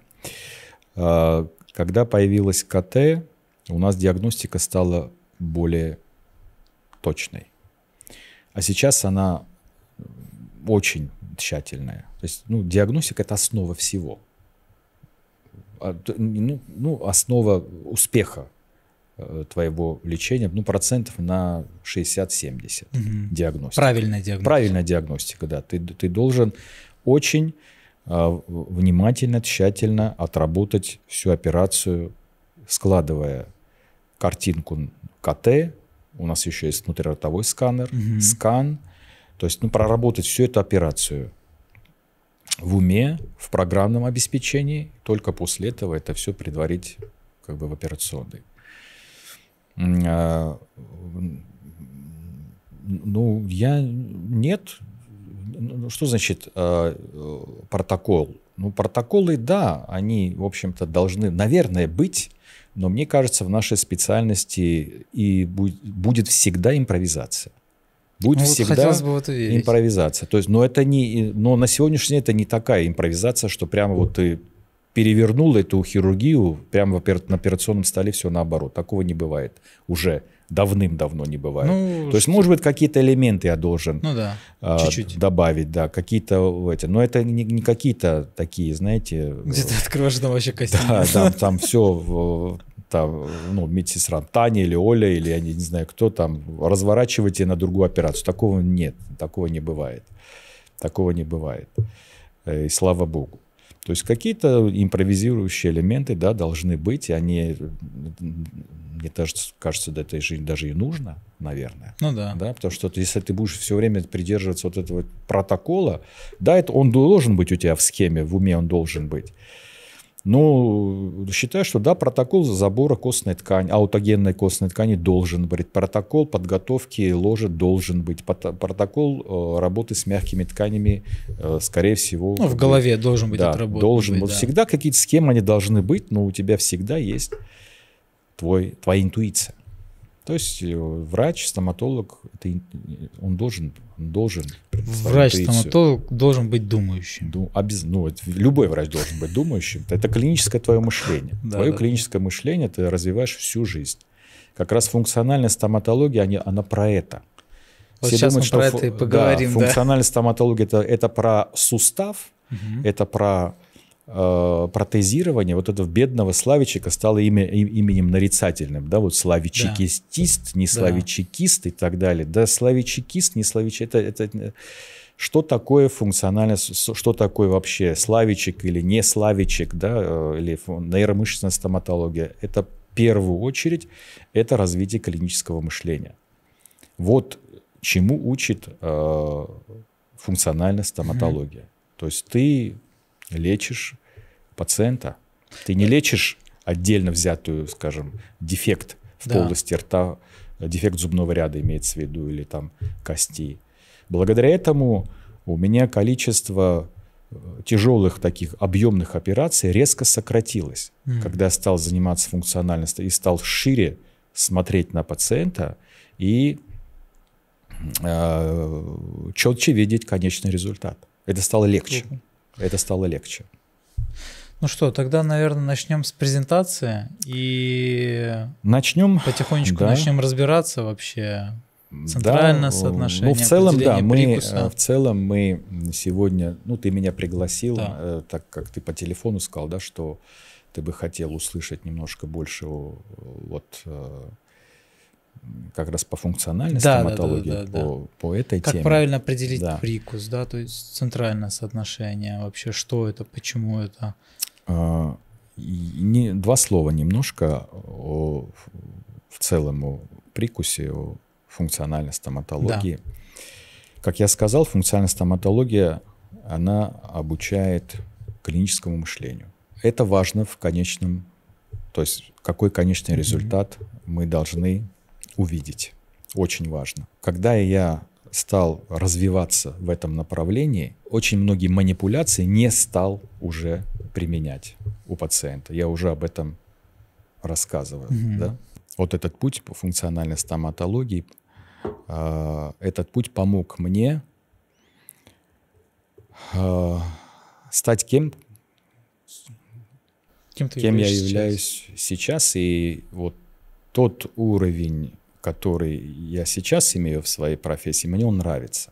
Э, ко мне сейчас э, много поступает пациентов, э, требующих тотального протезирования. Угу. Ко мне сейчас поступает много пациентов, которые не подозревают, что им нужно тотальное протезирование. То есть ты должен об этом им Объяснить им. рассказать, да, что вам нужно тотальное протезирование.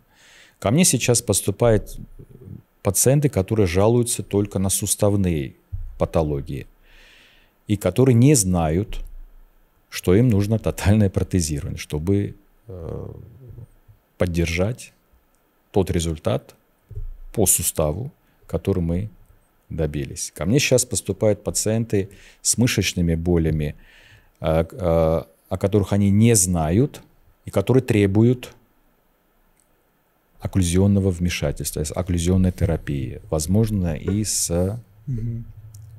тотальным протезированием. Ко мне сейчас поступают пациенты, которые думают, что у них проблема стоматологическая, но она больше не стоматологическая, а лежит на плоскости, возможно, психотерапии.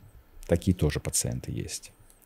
Все эти пациенты требуют знаний функциональной стоматологии и требуют знаний в манипуляциях, в мероприятиях по функциональной стоматологии. Вот я сейчас хочу показать одну пациентку, mm-hmm. очень красивая девушка, поступила к нам а, с а, жалобой на а, эстетику, да, эстетику, стираемость зубов, но ей больше хотелось восполнить один отсутствующий зуб. Угу. Один отсутствующий зуб это, по-моему, сейчас, если мы пройдемся, полистаем дальше, это будет седьмой зуб, нижний, зуб 3, угу. позиции 3-7. А, она была в очень таком раздражительном состоянии, а, с довольно таким серьезным а, болевым синдромом. Но она не жаловалась на это, нет? Она жаловалась на отсутствующий зуб? Она жаловалась на отсутствующий зуб, на стираемость зубов. Ага. Но когда я ее э, диагностировал, диагностировал обследовал, оказалось, что у нее довольно mm. резко выраженный болевой синдром мышц. То есть мышечно-суставная дисфункция. Ну, мышечная дисфункция. Сто процентов это, это что, что чтобы людям объяснить, да, нашим коллегам, это мышцы Гипер, перенапряжены, гипер... гиперспазм мышц ага. с болевым ага. синдромом с болью. И обычно это еще иногда внешне как-то проявляется, да, что мышцы... Внешне вот... проявляется, проявляется даже э, психотип пациента, угу. то есть они довольно э, агрессивные, агрессивные такие, да? депрессивные, э, и э, с ними э, очень трудно даже Вести кон- контакт, контакт установить. Э, мы очень много работы провели для того, чтобы просто установить контакт с ней. Угу. Просто установить контакт. Когда я э, более тщательно подошел к вопросу, то есть обследовал всю ее мышечную мышечную составляющую, угу. скажем ну, так. пальпация. Да, да, да, да, да, да, да. Я понял, что это все, все э, здесь явный, э, значит, бруксизм. Основой бруксизма является психоэмоциональное напряжение. Это борьба со стрессом. То есть бруксизм это не патология, это борьба, это борьба организма, э, это защита от стресса. Да. Это защита от стресса. И у нее все характерные признаки бруксизма были. Ну, например, какие характерные признаки бруксизма мы знаем, и которые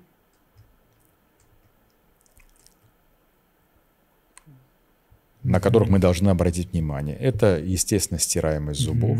Это частые переломы реставрации, которые обязательно должны врача, обязательно должны врача ну, что насторожить, да. особенно э, сколы, э, особенно расшатываемость, э, о котором мы говорили, коронок на имплантах, э, э, новые реставрации, которые почему-то скололись, да, вот, да. вот очень быстро.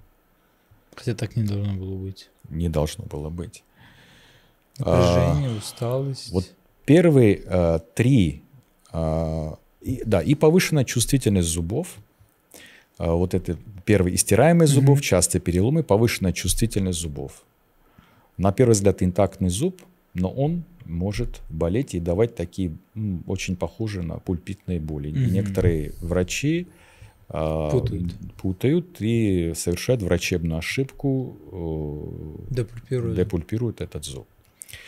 Напряженное напряжение и усталость жевательной мускулатуры, особенно по утрам, с миалгией или без нее, это определяется а, с помощью пальпации, угу. гипертрофии мышц, вот вид вот этих мышц и, и просто да. вот контуры этих мышц даже могут быть ощущаться, видны, да. совершенно верно.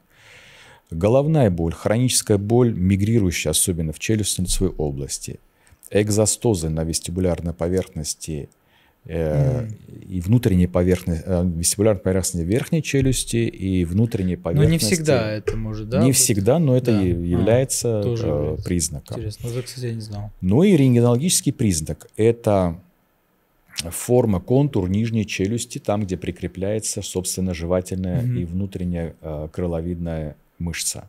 Он такой вогнутый получается. Это является также признаком э, гипертрофии мышц, спазма мышц, гиперактивности мышц. Ну, то есть Что они постоянно работают. Бруксизма. Да. вот у этой пациентки были практически все признаки. Ну, А, обратите экзостоза. внимание на экзостозы в области Да. жевать, в области премоляров а, и а, стираемость зубов. Хотя потери а, высоты может и не быть. Мгм. Э, Прикуса имеется в Да, виду. да, да. Ну, про определение высоты прикуса это вообще отдельная тема, не такая уж и, скажем, на первый взгляд легкая Простая. да, для освоения этой темы, но тем не менее, э, в общем-то, э, я сейчас, скоро у меня будет веби- в- вебинар на эту тему определения как раз высоты прикуса и как поднимать, как опускать. Ну, мы здесь этого э, чуть-чуть коснемся. Да, чуть-чуть коснемся. Мгм. Ну, я говорю, на первый взгляд э, кажется, что э, такая очевидная тема, но это не так на Ну, самом деле. кажется банальный, какой-то Да. простой, но Вот, пожалуйста, э, имплант Стираемость, уже да. был установлен. И Мгм. э, смотрите, мы э, хирургически подготавливаем пациента до э, всех других манипуляций в полости рта. Я имею в виду лечение кариеса, я имею в виду... э, то есть сначала хирургия. Сначала хирургия идет. Естественно, зубные отложения должны быть удалены Мгм. перед хирургией, но мы хирургию всегда ставим В вперед. первую очередь. В первую Потому очередь, если нет каких-то есть. совершенно если нет каких-то э, острых э, процессов, Ну, каких-то э, гнойных там совершенно верно, да. В нашей клинике это так, хотя со мной могут некоторые там поспорить, нет, там надо все кариесы вылечить, потом и так далее. Это тоже, в принципе, Тоже есть имеет место быть. и имеет место быть. Ну, я не вижу никаких проблем, что вперед приживление импланта, санацию а, провести а, чуть позже. Ну, в нашем случае имплантация тоже и входит в, в понятие санация. Естественно, конечно. Это какая-то такая Да. черновая работа до с- с- с той кульминационной, которую мы должны Мгм. провести. Увидим стираемость. Да, Хотя вот все такая- вот, вот э, на э- э- этапе осмотра, дентальных фотографий, фотографий лица, вот мы проводим весь этот фотопротокол. Я сейчас подробно не буду останавливаться на, Да, да, да, потому да. что у нас времени не так много. Э, Вот эти признаки нужно найти. Вот эти признаки функциональных нарушений нужно найти. А, И здесь есть очевидные признаки. Уже есть очевидные признаки. Это э, я остановился на э, экзостозах и на э, явной стираемости Мгм. зубов. Ну, дальше это у нас уже а, протокол по пальпации мышц, по окклюзионному индексу сейчас будет. А, Определение хронической боли. Все это я просто быстро пройду. Это всё ты все заполняешь? это я э, все анкета заполняю. пациента, скажем, не да? сказать, что каждому пациенту я это делаю. Мгм. Так что с опытом, э, когда ты уже набираешь определенный опыт, некоторые вот вещи нужно, ну, можно. Ну, ты ди- дифференцируешь. Да, совершенно и- верно, чтобы просто сократить Мгм. время. Ну, так как э, ты попросил, чтобы была Да. клинический, э, клиническая э, Случай. презентация, да, клинический случай, я посчитал, что вот быстренько я пройдусь по этому протоколу, чтобы было понятно. То есть ты отмечаешь себе, где боли, какие боли подмечаешь, все записываешь, Да. чтобы собрать полную диагностику. Дальше вот мы э, изготавливаем такие диагностические модели, и э, по этим э, диагностическим э, моделям мы как раз определяем ту высоту прикуса, в которую мы хотели пациенту сделать макет. Да. Так называемые вопрос, а почему модели. нижние зубы уже сепарированы, как под работой? Это э, специально сделано для того, чтобы провести как раз вот это восковое моделирование. О, Восковое моделирование По славичку. последовательной дезоклюзии. Это не славичек. Это не славичек. э, Да, последовательная дезоклюзия это не, это не славичек, во- вопреки мнению, что это его Не, авторство. я, я не в курсе, я просто мне интересно. Я понял, понял, да. Но я говорю, что д- последовательная дезоклюзия Ага. это- это в его школе преподается, но это не э, То есть ты сначала не- делаешь э, нижнюю челюсть, получается, моделирование, да? э, Или она делается... Немного не так. а, а, Чтобы провести последовательную дезоклюзию, восковое моделирование фу- именно функциональное э, с последовательной дезоклюзией начинается с дистальных отделов. Мгм. Поэтому И верхний и а, нижний. каждый зуб впереди стоящий при Это мы- латеральном это в виду- смещении Это мы сейчас делаем для сплинт-терапии? Это мы сейчас делаем и для сплинт-терапии, и для воскового, Мозгового моделирования. Да. моделирования. И бывшей для, того, чтобы определ- и для того, чтобы определить высоту прикуса. То есть высота прикуса, давай немножко остановимся на Да, высоте давай, прикуса. Да. вот немножко так. Все-таки Значит, немножко разберем. Да, высота прикуса – это тема не техни- техника лаборанта, это тема врача. Да. Я высоту прикуса никогда не доверяю технической лаборатории. Я даю ту высоту прикуса, которую я считаю нужным Мгм. и возможным. Я гипсую сам в нашей клинике модели на той высоте, которые Ты считаю, хочешь, чтобы она была? да, она именно клинически подходит в данном случае. То есть техник, он не поднимает прикус в моем Не случае, опускает. не опускает прикус в случае в, на- в нашей клинике. Это делаем мы, наши, а- а точнее я, ну и наш ортопед тоже, который вот рядом со мной работает. И Как правильно определить? как правильно определить высоту Да. прикуса? Это немножко длинная тема. Э, Высота прикуса, я постараюсь немножко коротко. Ну да, Высота прикуса, она определяется э, точно в том случае, если мы сможем выключить работу латеральных карловидных мышц в клинике, в кресле Пацан. пациента, да.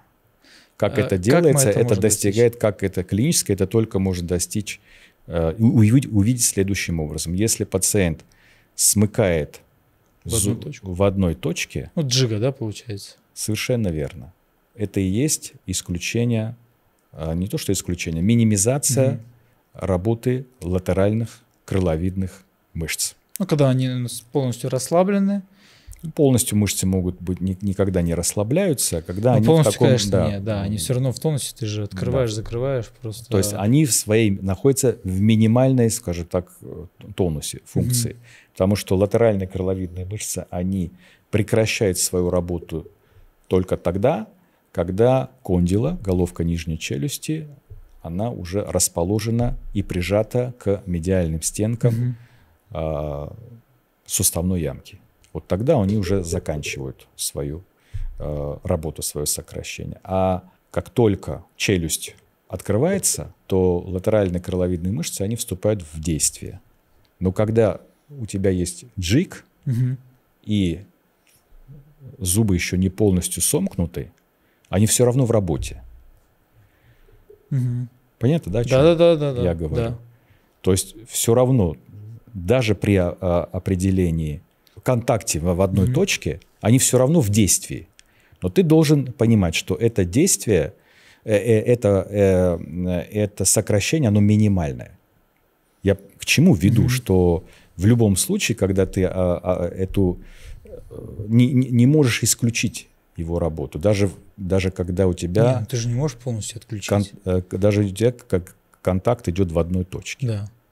Повторяемость – это единственный признак, еще раз повторюсь, что латеральные крыловидные мышцы минимально задействованы, но они полностью не выключены. Мгм. Еще раз, они полностью заканчивают свое действие тогда, когда зубы сомкнуты, находятся в своем привычном прикусе, но не в центральном положении. соотношении. Это А. надо понимать. Вот это я преподаю в своих там Мгм. лекциях и так далее. Это надо понимать. а, В Что это надо вникать. в это надо вникать. И еще то, что ты определил высоту прикуса во рту, это еще не окончательно.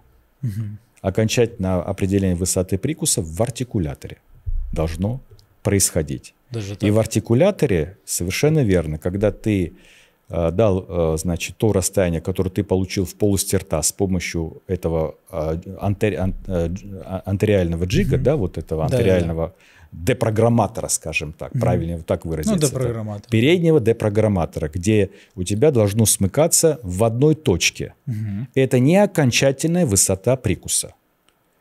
Рабочая, которая должна значит, э, поступить на стол с техника лаборанта. Ты еще должен эту Мы- высоту доработать Да, в, мы, мы- мы же не, э, мы, же не мы же не получаем высоту с помощью джига.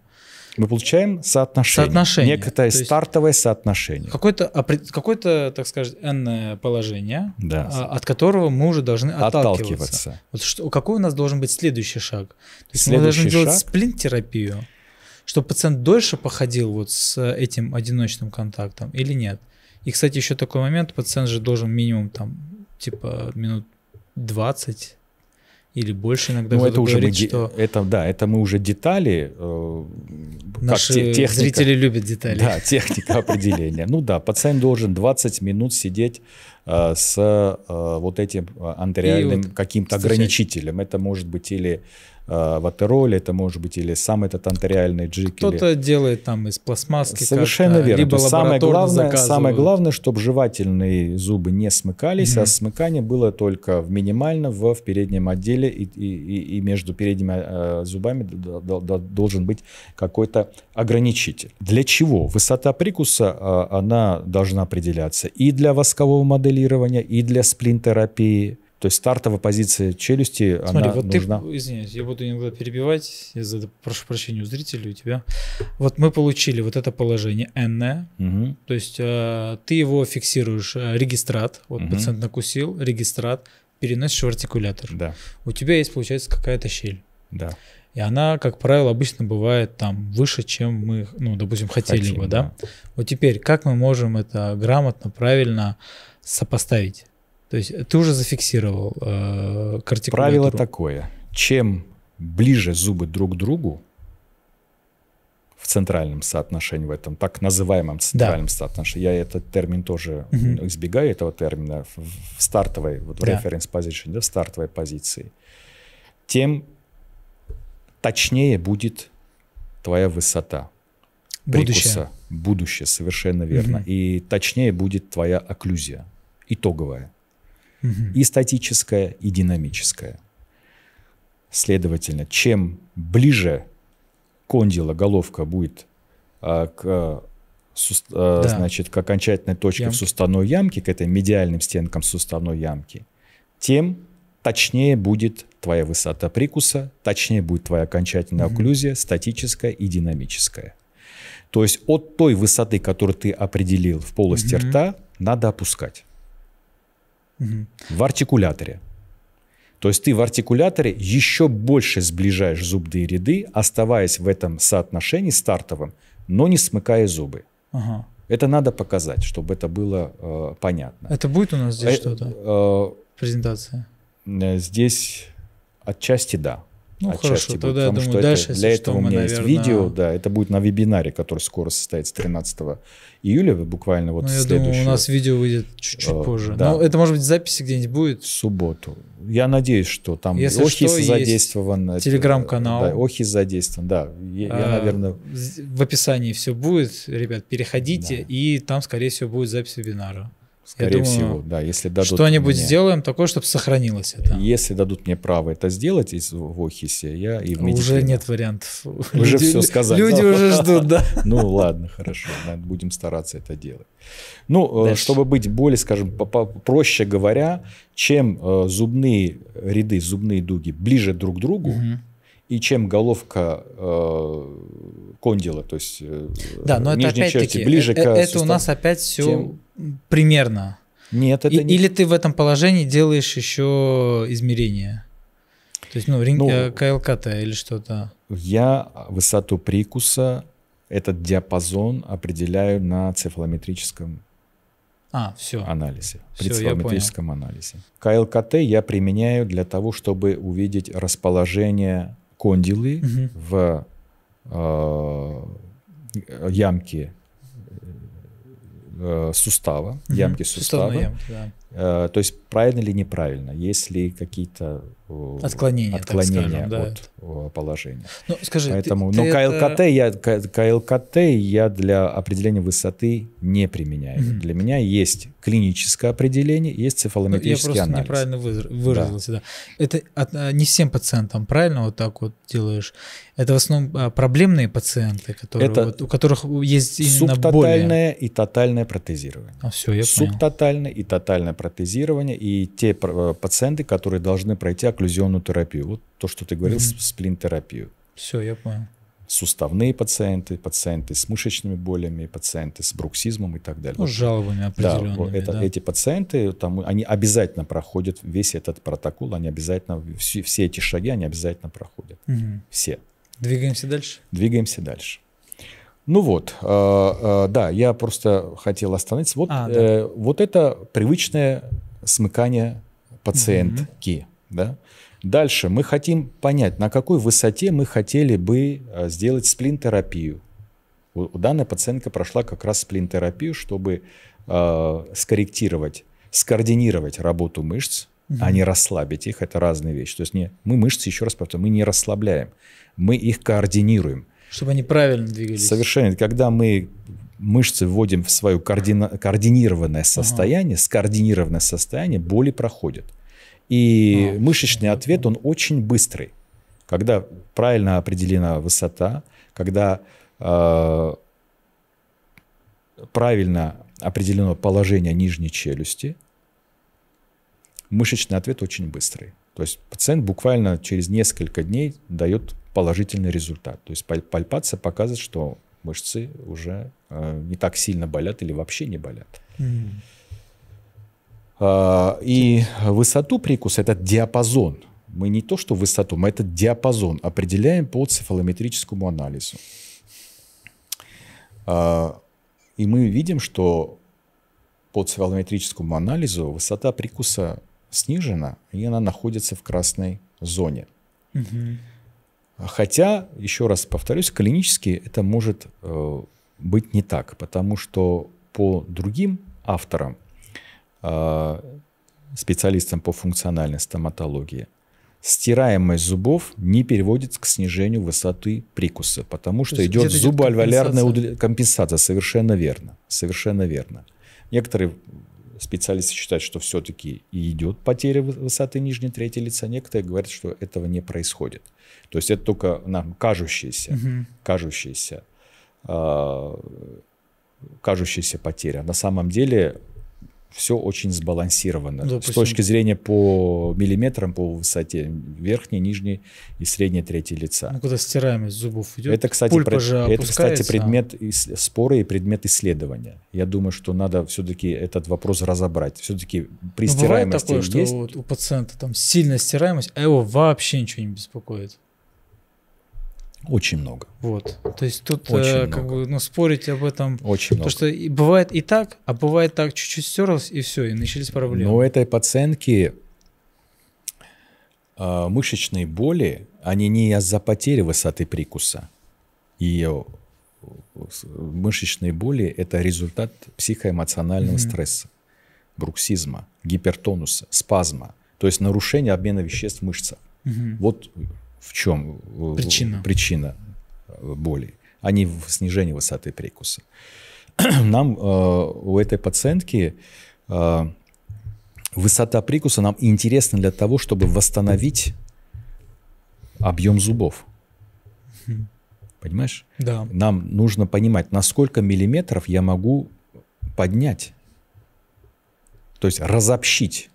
Ну, понять свою границу. Прикус, да, вот этот привычный прикус – диапазон, чтобы я не вышел за рамки адаптационного коридора. Вот есть, есть такое понятие функциональной mm-hmm. стоматологии – адаптационный коридор. То есть мы бесконечно не можем поднимать Конечно. прикус, также бесконечно не можем снижать этот прикус. Мы должны э, видеть этот диапазон. Как раз цефалометрический анализ нам дает э, именно этот параметр – адаптационный коридор. То есть, если, например, я вижу, что норма 44 или 45 градусов, это не, это не значит, что я должен поднять до, до этой нормы. До этой нормы. Но она же может отличаться, допустим. Да, я забыл сказать, что высота прикуса в цефалометрии определяется в угловом значении. Ага. В угловом значении, да. поэтому в градусах. Дальше мы э, как раз определяем по э, данной программе, на какую высоту мы могли бы завысить этот угу. прикус. Да?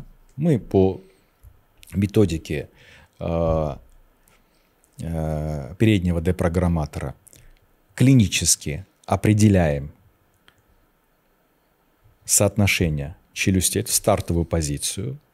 Угу. Еще раз повторим, что единственным признаком, что мы более или менее правильно определили стартовую позицию, это контакт на переднем депрограмматоре в одной точке. Но это не является окончательной нашей высотой. Мы должны эти миллиметры измерить в артикуляторе, используя данные цефалометрического анализа. Угу. Это в нашей практике обязательное мероприятие. И мы понимаем, что э, в принципе в идеале высоту можем поднять аж на 16 миллиметров. Вы понимаете, на 16 миллиметров я могу поднять ну, это что-то... Да, резцовый штифт. Это не ошибка. И, э, и это, ну, это, это, понимаете, это так э, хочет... Э, компьютер. Компьютер, да. Это не значит, что ты должен это делать. А, Тут уже надо включить совершенно, голову. Совершенно Роботы верно. нас порабощают. Потом некоторые забывают, что высота э, на резцовом штифте Э, и реальная высота да, в переднем, да, это да, разные да, вещи. Потому что рисовый, да. штифт, э, рисовый штифт артикулятора имеется в виду, чтобы, если да. кто не, не в теме, рисовый штифт артикулятора. Он стоит перед лицом, да, одним словом, да, да, пациента, да. то есть немножко поодаль от э, ну, передних зубов. Там... Значит, высота все-таки в, в области э, резцов, передних резцов, это меньше. немножко меньше, да? да. А высота вообще в жевательном Все отделе... равно немало. Немало. Кто говорит мало? Не, не мало. Ну, конечно, мы реалисты, мы Э, так не будем делать. И мы, я всегда беру некую золотую середину, может быть, половину. Там, вот здесь 16 показал, я сейчас э, четко не помню. Да вот, правильно, я могу взять половину там, угу. и посмотреть.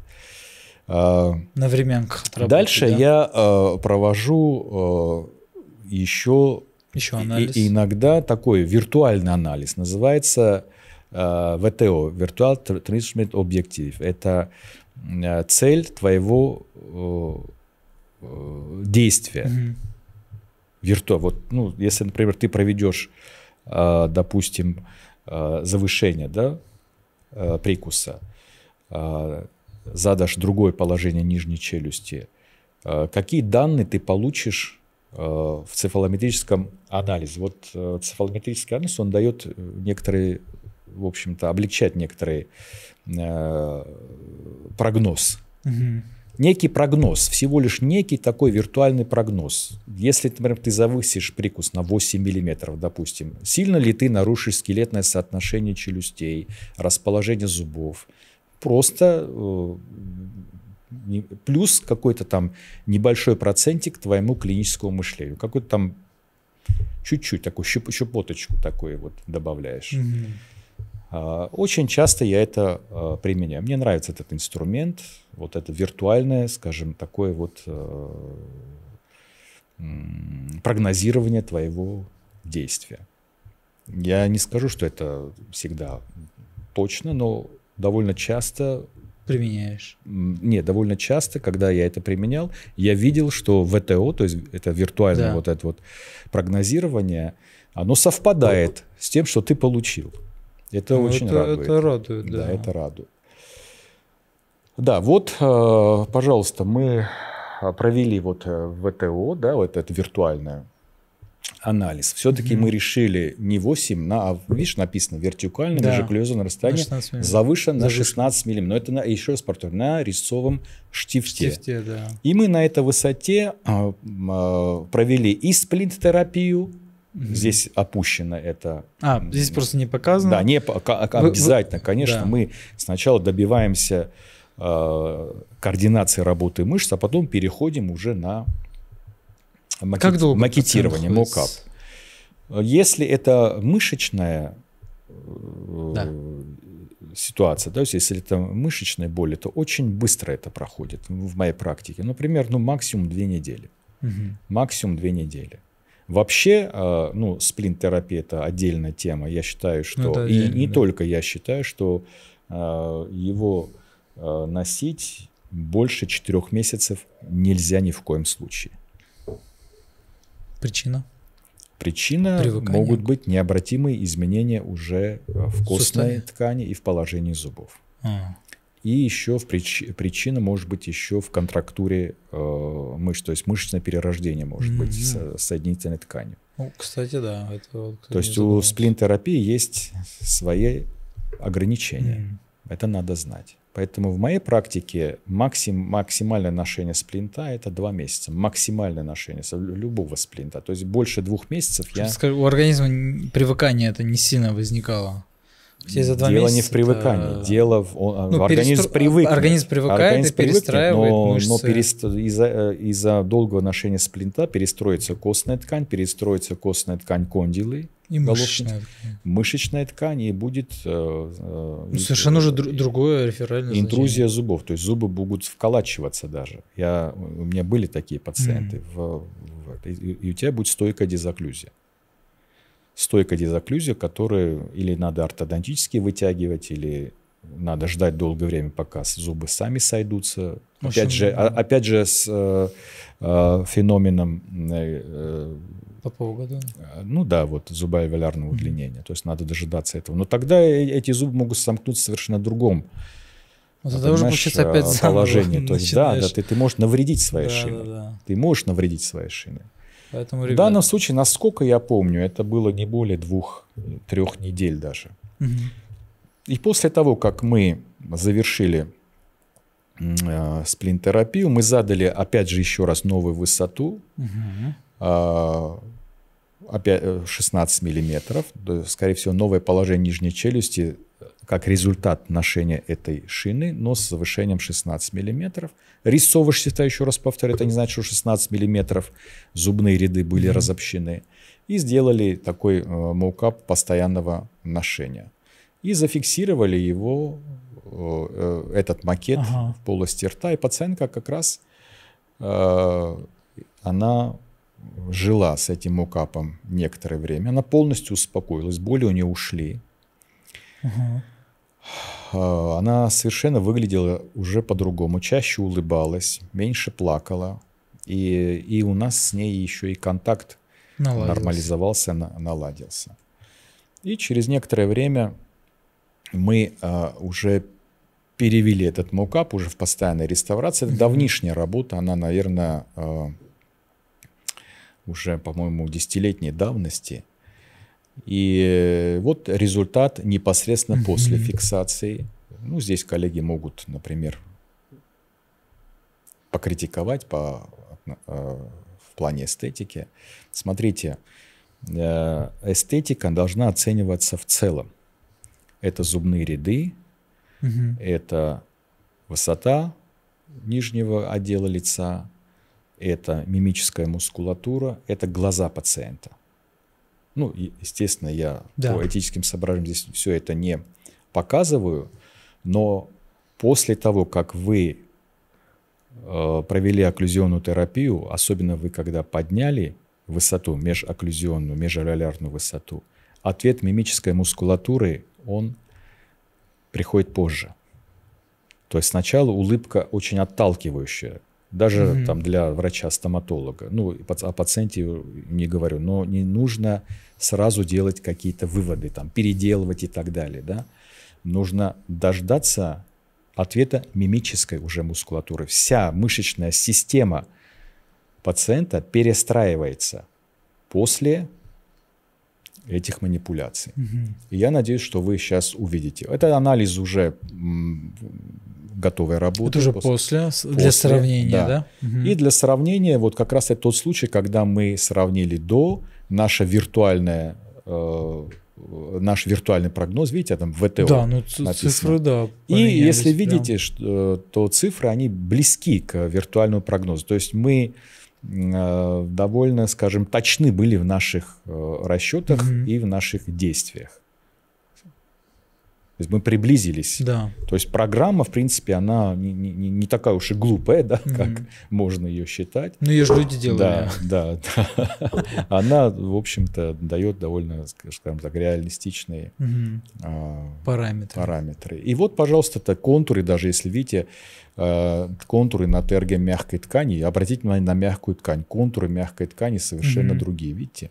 Ой, извините, я... Да, да, да. Да, совершенно они уже более привлекательные, скажем так, для...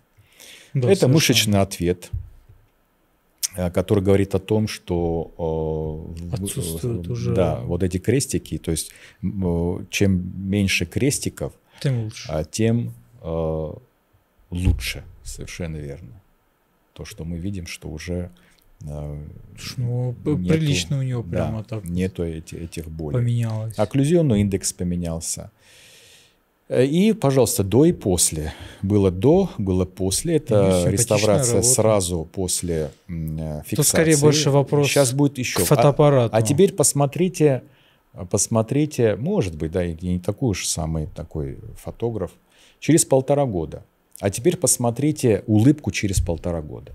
Видите, как, какой ответ мимической мускулатуры. Мгм. Это совсем уже В- это другая как, как будто улыбка. другой человек. да. Совершенно верно. И, пожалуйста, как она улыбается уже через полтора года. И ка- знаете, как, что она мне сказала? Она сказала, что вы знаете, как... а- Она потом уехала в Токио и сказала, что... Ух ты. А знаете, как меня приняли на работу? Я говорю, нет, не знаю. Я улыбнулась. М. И я почувствовал, что из-за этой улыбки меня приняли на работу в Токио. Вот она Ничего сейчас себе. живет в Токио. Вот. У меня есть кейс, который с э, соединением имплантов с зубами. Ага. Я один из немногих врачей, я так вижу, да, думаю, считаю, и который соединяет импланты с зубами. Мгм. И у меня еще есть кейс осложнения. Моего собственного осложнения, которое редко... Я думаю, люди такие, показывай кейс зубами. Да. Ну, А, а, я, этот клинический случай... э, Это вот он сейчас? Нет, нет, это Ага. другой, он, он, он тоже интересный, он тоже... Это... э, Я могу быстро пройтись, Давай быстро, да, если вот только без сильных э, Да, пауз. я уже не буду останавливаться Да, на вот вот, этих на детальных да, анализах. не Смотрите, вот этот пациент, он э, из-за отсутствия зубов потерял положение э, в целом ты. нижней части. Видите, какой у него привычный прикус? Это все в привычном прикусе. Все в привычном прикусе. Вот э, это латеральное ведение, переднее ведение, работа. да, очень сложная работа. А, И вот он так смыкает. Ему отказали протезирование, ну, как он рассказывает, в семи клиниках. Да Вот если он поп- больше пошел бы, я думаю, попал, больше было бы. попал к нам. И вот это показание как раз к тому, что сначала мы установили импланты. Вот это его Мгм. значит, ситуация. Это его орто- а, Ортопантомограф. ортопантомограмма, это его мышечная статуя. Я быстро листаю, Да, чтобы... да, да. Люди, кто надо, Да. вы зафиксируетесь, Да. на паузу нажмете, посмотрите, Да. изучите. Это его привычный прикус, это э, модели, которые загипсованы в привычном прикусе. Это его аксиографические исследования, показывающие ограничение движения нижней челюсти и э, м, ограничение в целом движения в суставе головки нижней челюсти аксиографической.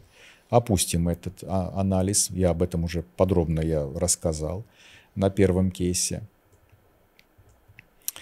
Здесь э, высота прикуса была поднята на аж 14 миллиметров и была изготовлена капа. Была изготовлена капа на вот этой высоте, Мгм. на этой высоте, и одновременно начало, Классно начато было ортодо- ортодонтическое лечение. То есть мы снач- э, э, очень часто делаем такие работы одновременно с капой. Мы устанавливаем капу на Мгм. нижнюю челюсть, и начинается первый этап ортодонтического лечения на верхней челюсти. И посмотрите теперь, как смыкает пациент после капы. Вот верхней фотографии Огромная это разница. до капы, а вторая э, нижняя фотография это после капы. И это без какой-либо э, ортогнатической хирургии. Это без какой-либо, знаете, это, э, это только лишь, э, только лишь э, ответ мышц. Вот так они хотели бы видеть положение нижней челюсти. И когда мы на капе задали правильную траекторию движения нижней челюсти, вот эти латеротрузионные движения, Да. Антиреальное движение. Все от, отработали все на капе, мышцы вошли в скоординированное свое состояние, еще раз говорю, не расслабленное, mm-hmm. скоординированное. Мы функциональные стоматологи. Мы не гнатологи. Звучит как оскорбление, но Мы специалисты по функциональному, ну, я пошутил. Это шутки, да, Да, функциональный стоматолог. И вот мышцы, они дали вот свой ответ. И они так хотят видеть. Это, без, это практически без моей помощи. Mm-hmm. Ну, практически без. Я всего лишь изготовил э, и направил, э, направил, и направил мышцы так. Дал правильную дорогу. дал скажем, правильную да? траекторию им двигаться. Работать. То есть не двигаться, mm-hmm. а мышцам работать. И сразу получил, смотрите, какой ответ получил я.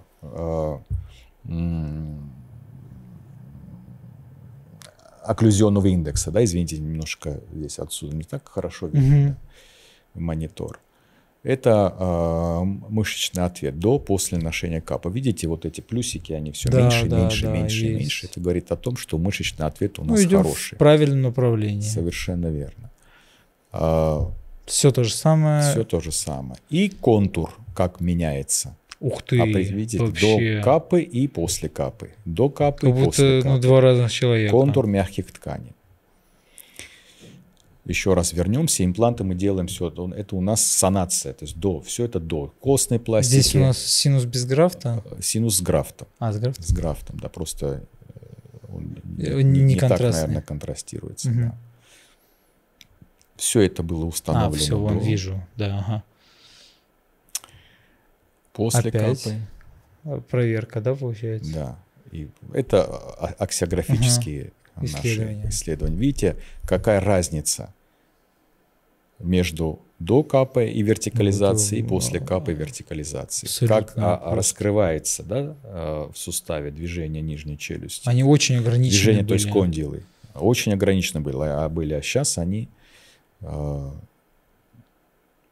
уже в норме практически.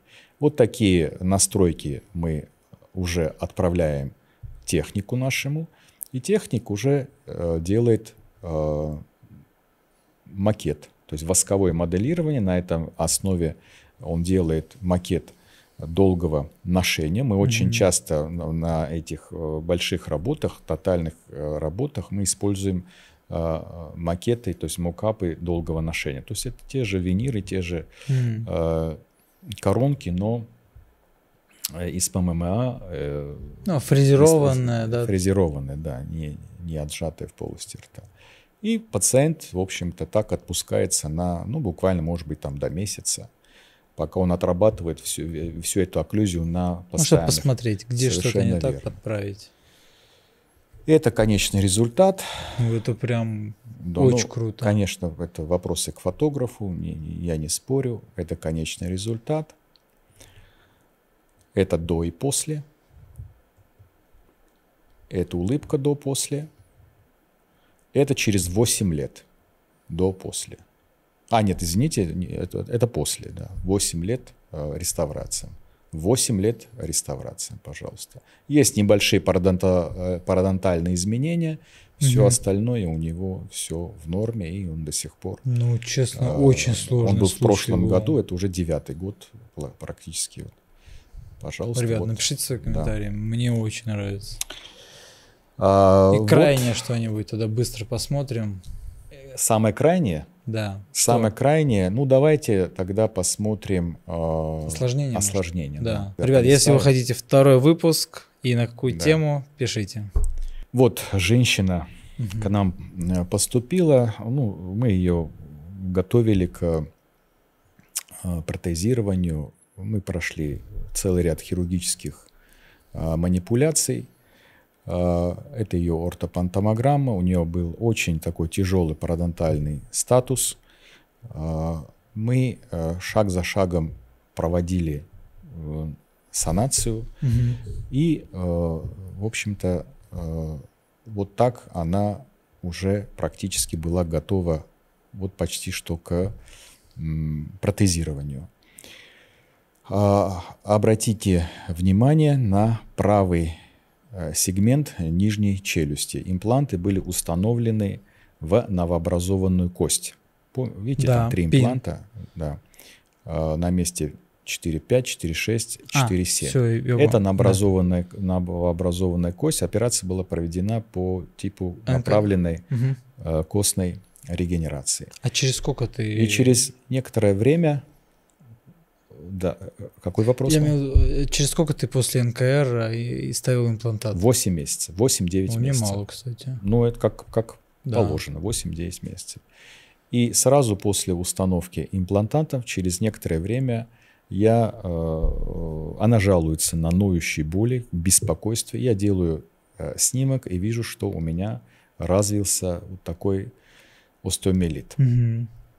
Это э, осложнение, ну, страшнейшее осложнение, я считаю, особенно после э, всех пройденных уже этапов костных пластик, установки имплантантов. Это нечастое осложнение.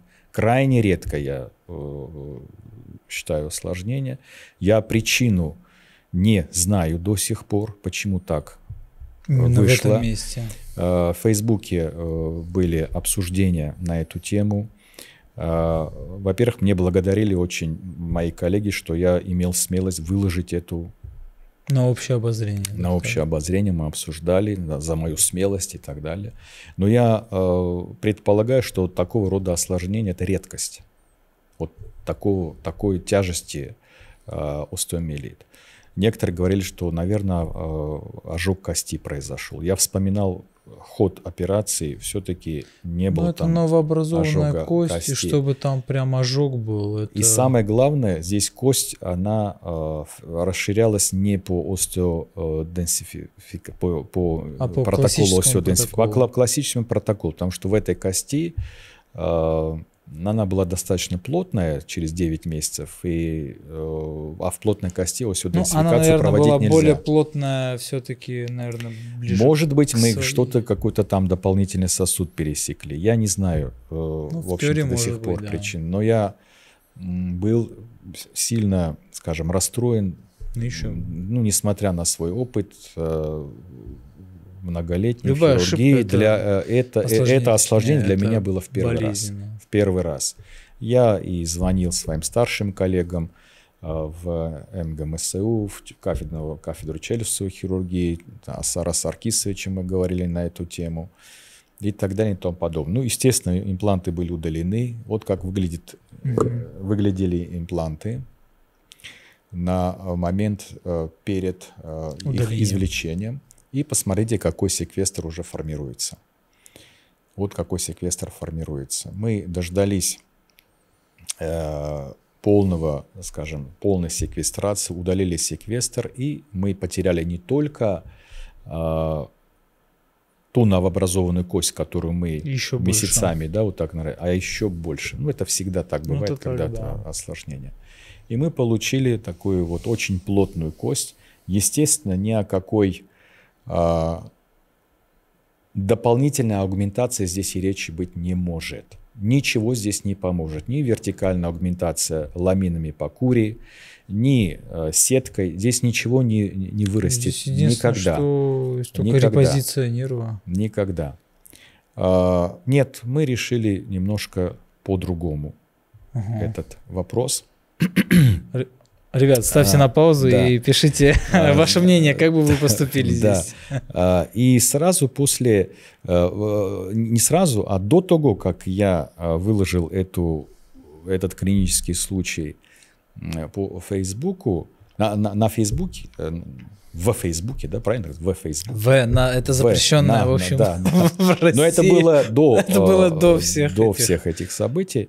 Монтажер, а, сказать, Один наш ставил. коллега выложил очень похожую, э, похожую картину, но он получил осложнение, применяя метод крыша гаража. Знаете этот да, метод? конечно. Когда ты Ильгам отделяешь ко- кость и да, да, да. Поднимаешь, и поднимаешь ее. И он потерял а, эту кость ага. эту, эту, эту крышу, и в итоге получил очень похожую ситуацию, Там которую я так, сейчас показываю.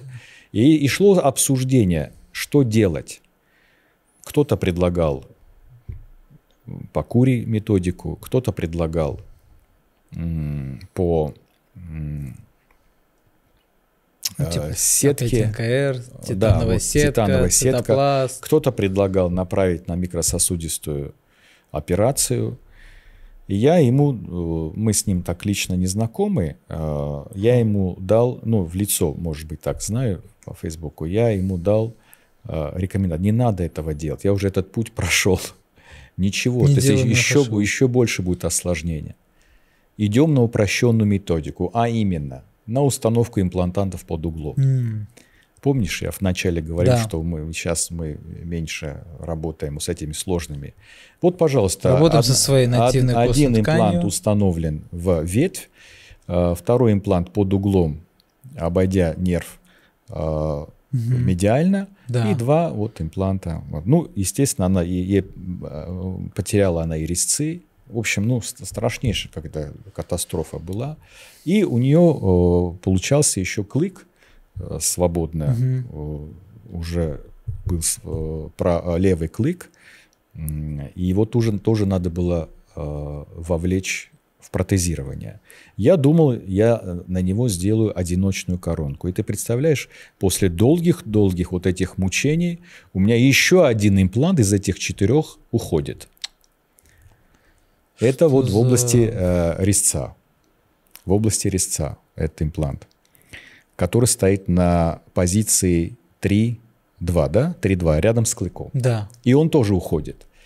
Я, я просто, я не знаю, может быть, я кому-то пересек Границу. Ну, да. что, что, что я за что эти мучения мне.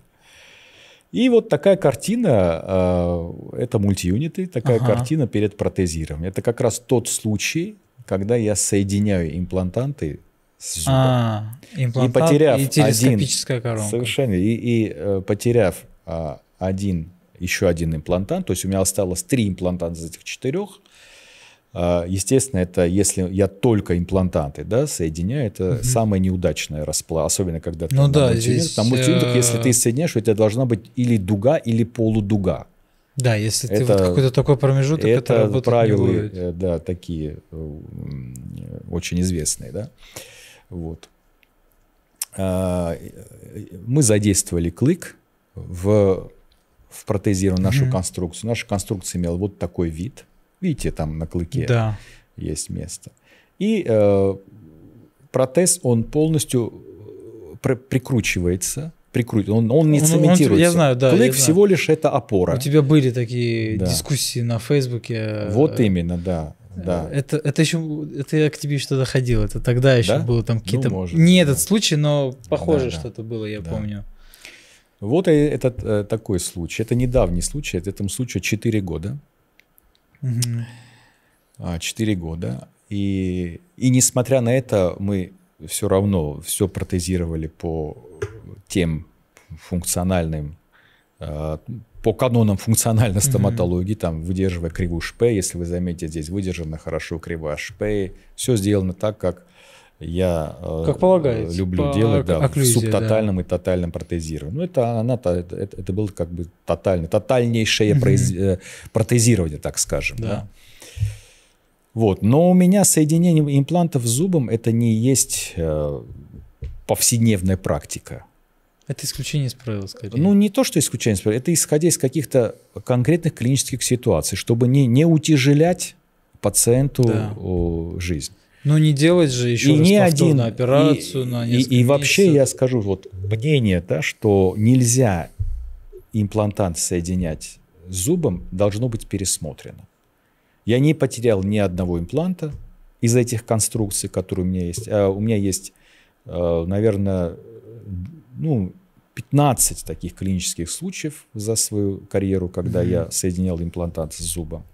Я еще не, э, не видел ни одного фатального случая, что я потерял. а- Обычно думают, что потеряют имплантат, потому что у зуба есть микроподвижность, а из-за этого он ничего не... Больше скажу, те зубы, которые имели хоть какую-то подвижность, они укрепляются.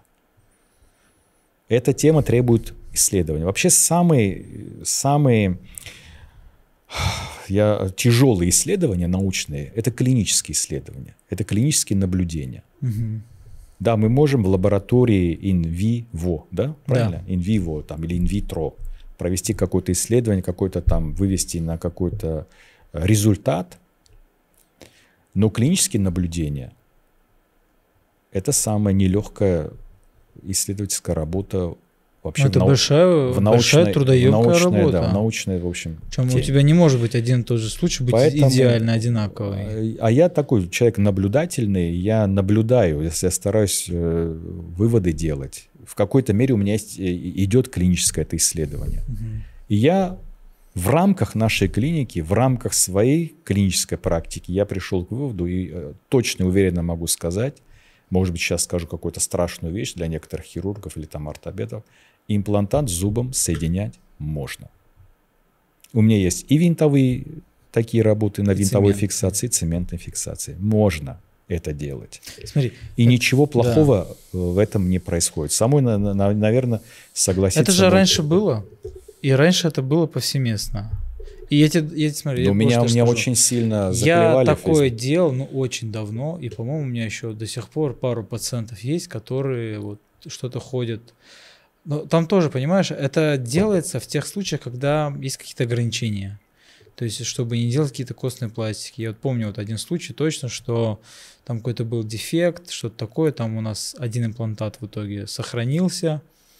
И чтобы заново не делать какие-то дополнительные опять манипуляции, пациент тоже не очень хочет, потому что это время, это долго ждать, и уже иногда бывают у них сомнения какие-то, может, не надо может лучше что-то, компромисс какой-то. И вот я знаю, что у меня один или два случая есть, и по сей день вот э, ходят. Ты подтверждаешь мои слова. И я точно знаю, что есть коллеги, которые я видел, даже они выкладывали эти случаи с осторожностью, конечно, выкладывают, боясь, Многие что их просто сильно... стесняются. Да, стесняются. Я более чем да. уверен, потому что да. они боятся вот этого вот а, общественного, так скажем, Ну вот я не а, побоялся, мнения. я выложил два случая таких, которые да. я э, показал с соединением импланта. Э, и зуба. Здесь, здесь, смотрите, и осложнение я показал, и свое э, решение. Смотри, сейчас люди скажут, а есть продолжение? В каком смысле? Э, типа рентген, наблюдение, через сколько-то там... Наблюдение есть. Я эту Это пациентку... дальше я, я, я, я, я вообще скажу, что... Ну, в данном случае нет, но я на словах скажу, mm-hmm. что да, она в контакте с нами, с нашей клиникой. Я скажу, что любая э, тотальная работа должна э, значит, э, контролироваться через диспансерное наблюдение. Вот я недавно был на конференции по All on 4, All on 6, вот по mm-hmm. этой методике. Все эти пациенты, они должны встать на пожизненное диспансерное наблюдение. Соответственно, эта пациентка тоже находится на пожизненном диспансерном наблюдении. Mm-hmm. Все пациенты, которые уже установлены импланты, особенно с э, тотальным э, да, да ситуация, да, с тотальным протезированием. С реабилитацией, да. Реабилитация, это же все на шести, все на четырех, и даже не, не, не, не винтовая фиксация, ну просто пациенту установили 28 реставраций, там виниры, коронки, они должны находиться на диспансерном наблюдении, пожизненном. Так положено. То же самое. Поэтому э, эта пациентка имеет продолжение. До сих пор эта конструкция у нее во рту стоит, И есть стабильно. Э, стабильно, да. Есть, а, ну, она злоупотребляет немножко курением, а, есть не, некоторые, значит, э, изменения в, в протезе в виде вот этого налета. Ну, это тут как бы... Да. А, эта конструкция, кстати, она из металлокомпозита. Это не оксид циркония, это металлокомпозит. Не, я вижу, что металл есть точно. Думал, металлокомпозит. Это металлокомпозит. А. Это металлокомпозит. Это не металлокерамика, это металлокомпозит, а, ну, потому что верхние, верхние... К нему липнет неплохо. Совершенно, потому что верхние у нее, эта дуга, ага. на, все на шести имплантах у нее. Металлокерамика это оксид циркония. А, оксид циркония. А, Поэтому ну, чтобы встречного не встречный было, да. должен быть из какого-то более мягкого. Более, да, Но металлокерамика не подошла бы? Материала. Нет. Там Я э, думаю, полная что... анатомия или там с нанесением? Э, наверху? Да. А там э, оксид циркония полная анатомия. Оксид циркония полная анатомия. Вот так выглядит э, эта конструкция Ага. во рту. Всё, так Э, более или менее прям. э, выглядит хорошо. Мгм. Вот, пожалуйста, ее. Керамист, улыбка. э, а, этот не керамист, это этот, очень хорошо с десной поработал. Ну, Мне прям с, э, нравится. э, да. Симпатично. FP3 Мгм. получается. Да. Фиксированный протез 3. По типу фиксированного протеза 3 сделан. Вот ее улыбка. Вот, собственно, эти три э, клинических случая я хотел сегодня показать. Один круче другого. Да, несмотря на Спасибо то, что большое. мы, конечно, вот имели вот такое, ну, грозное такое осложнение, как остеомиелит. Мгм. Я уже подумал, Редкое, может быть, да, да, но мы вытянули ее, э, э, этот случай Я силами считаю, по только нашей клиники. На, на- наш многоуважаемый э, анестезиолог, он, он, э, каждый день приезжал, и мы включали капельницу. этой М. Пациентки проводили дезинтоксикационную терапию, и чтобы ограничить а, этот секвестр. В общем, вы делали максимально все, что возможно. Да, да. И вот мы вытянули. И несмотря на это, мы все равно вернули работу в русло а, протокола по функциональной стоматологии. Все эти обследования Да. провели, все эти цефалометрические анализы мы сделали, аксиографические исследования подняли. Все это мы э, э, собрали в кучу и м, сделали вот такой вот Да, здесь просто может быть Протез. н- не все показано, ребят, чтобы вы не Да, думали, здесь что вот, вот так мы вот все вот идет, да, по очереди. Да. Поэтому спасибо большое за беседу, за эти кейсы, что ты пришел, что ты поделился, ты не постеснялся, ты показал проблемы свои. Э, Все врачи хотят э, свои проблемы закрыть шкафу с остальными проблемами, да, не, не, не хотят делиться им, показывать. Но это то, что нас двигает вперед, нас учит и нам показывает, а, как можно обходить проблемы. Поэтому за это тебе большое спасибо. А, И знаешь, напоследок, а, дай, пожалуйста, какой-нибудь совет молодым стоматологам. Ну, вообще, мне кажется, советы давать не совсем благородное дело. Я с высоты уже своей профессиональной деятельности и лет Тогда напутствие. могу напутствие. Надо оставаться порядочным, стараться... Надо быть порядочным, оставаться порядочным и работать над этим, над порядочностью, в принципе. Порядочность — это не значит ты хороший да, или плохой человек. Порядочность, она проявляется и в профессии Да. тоже. Надо усовершенствовать порядочность, уровень своей, своего интеллектуального развития, своего мировоззрения. И это отражается на твоей профессиональной работе. Вот если примут такой совет, потому что Думаю, люди, примут. которые могут поступить непорядочно, они могут даже это не почувствовать или почувствовать позже. Ну, например, у меня есть в жизни такие ну, поступки, о которых я стыжусь до сих пор. И это мне помогает возвращать себя На место, так скажем. в, ро- да. в ровное, скажем, русло. И осознать это очень э, правильно и признавать свои ошибки. Надо учиться признавать свои ошибки. Может быть, их не нужно произносить на публику, Мгм. но в себе ошибки нужно признавать. Надо быть порядочным. С этим, мне кажется, много проблем. И не только в профессии. Это как бы в целом. в это- нашей среде, да. среде людей, и, ну, в целом и коллег и так далее. Есть такая проблема. Я сталкиваюсь периодически с этим. И я чувствую, что непорядочность, она влияет на их и профессиональную деятельность. То есть она снижает уровень их э, специалистов с- снижает уровень как, их как специалистов. Вот такое на, напутствие. Ну, естественно, следить за своими знаниями, никогда не быть уверенными в то, что ты все знаешь, все можешь, не стесняться учиться у младших, как я, например, сейчас Мгм. это себе могу позволить. И я рад этому. И, в общем-то, никогда не стесняться показывать свою определенную некомпетентность. То есть ты должен всегда чувствовать определенную, ска- скажем, некомпетентность. Чуть-чуть. Чуть-чуть, чтобы двигаться вперед. Вот такой у меня будет. Может быть, странно для кого-то напутствие. Спасибо. Не, не, очень прекрасно. Спасибо, Артур, тебе за приглашение. Я получил тоже очень большое удовольствие от Спасибо, это взаимно. беседы с тобой. Спасибо большое. Спасибо большое. Друзья, но нас, наш выпуск подошел к концу. Напишите, пожалуйста, в комментариях, как вам и в целом, что бы вы хотели бы добавить. Может быть, какие- какую-то вторую серию хотели бы увидеть. Э, Нам будет очень приятно это почитать. И, конечно же, не забывайте ставить лайки, колокольчик и подписывайтесь на нас. Спасибо. И смотрим в камеру и со всеми прощаемся. Ну Спасибо. что, ребят, всем пока-пока. доброго. Пока.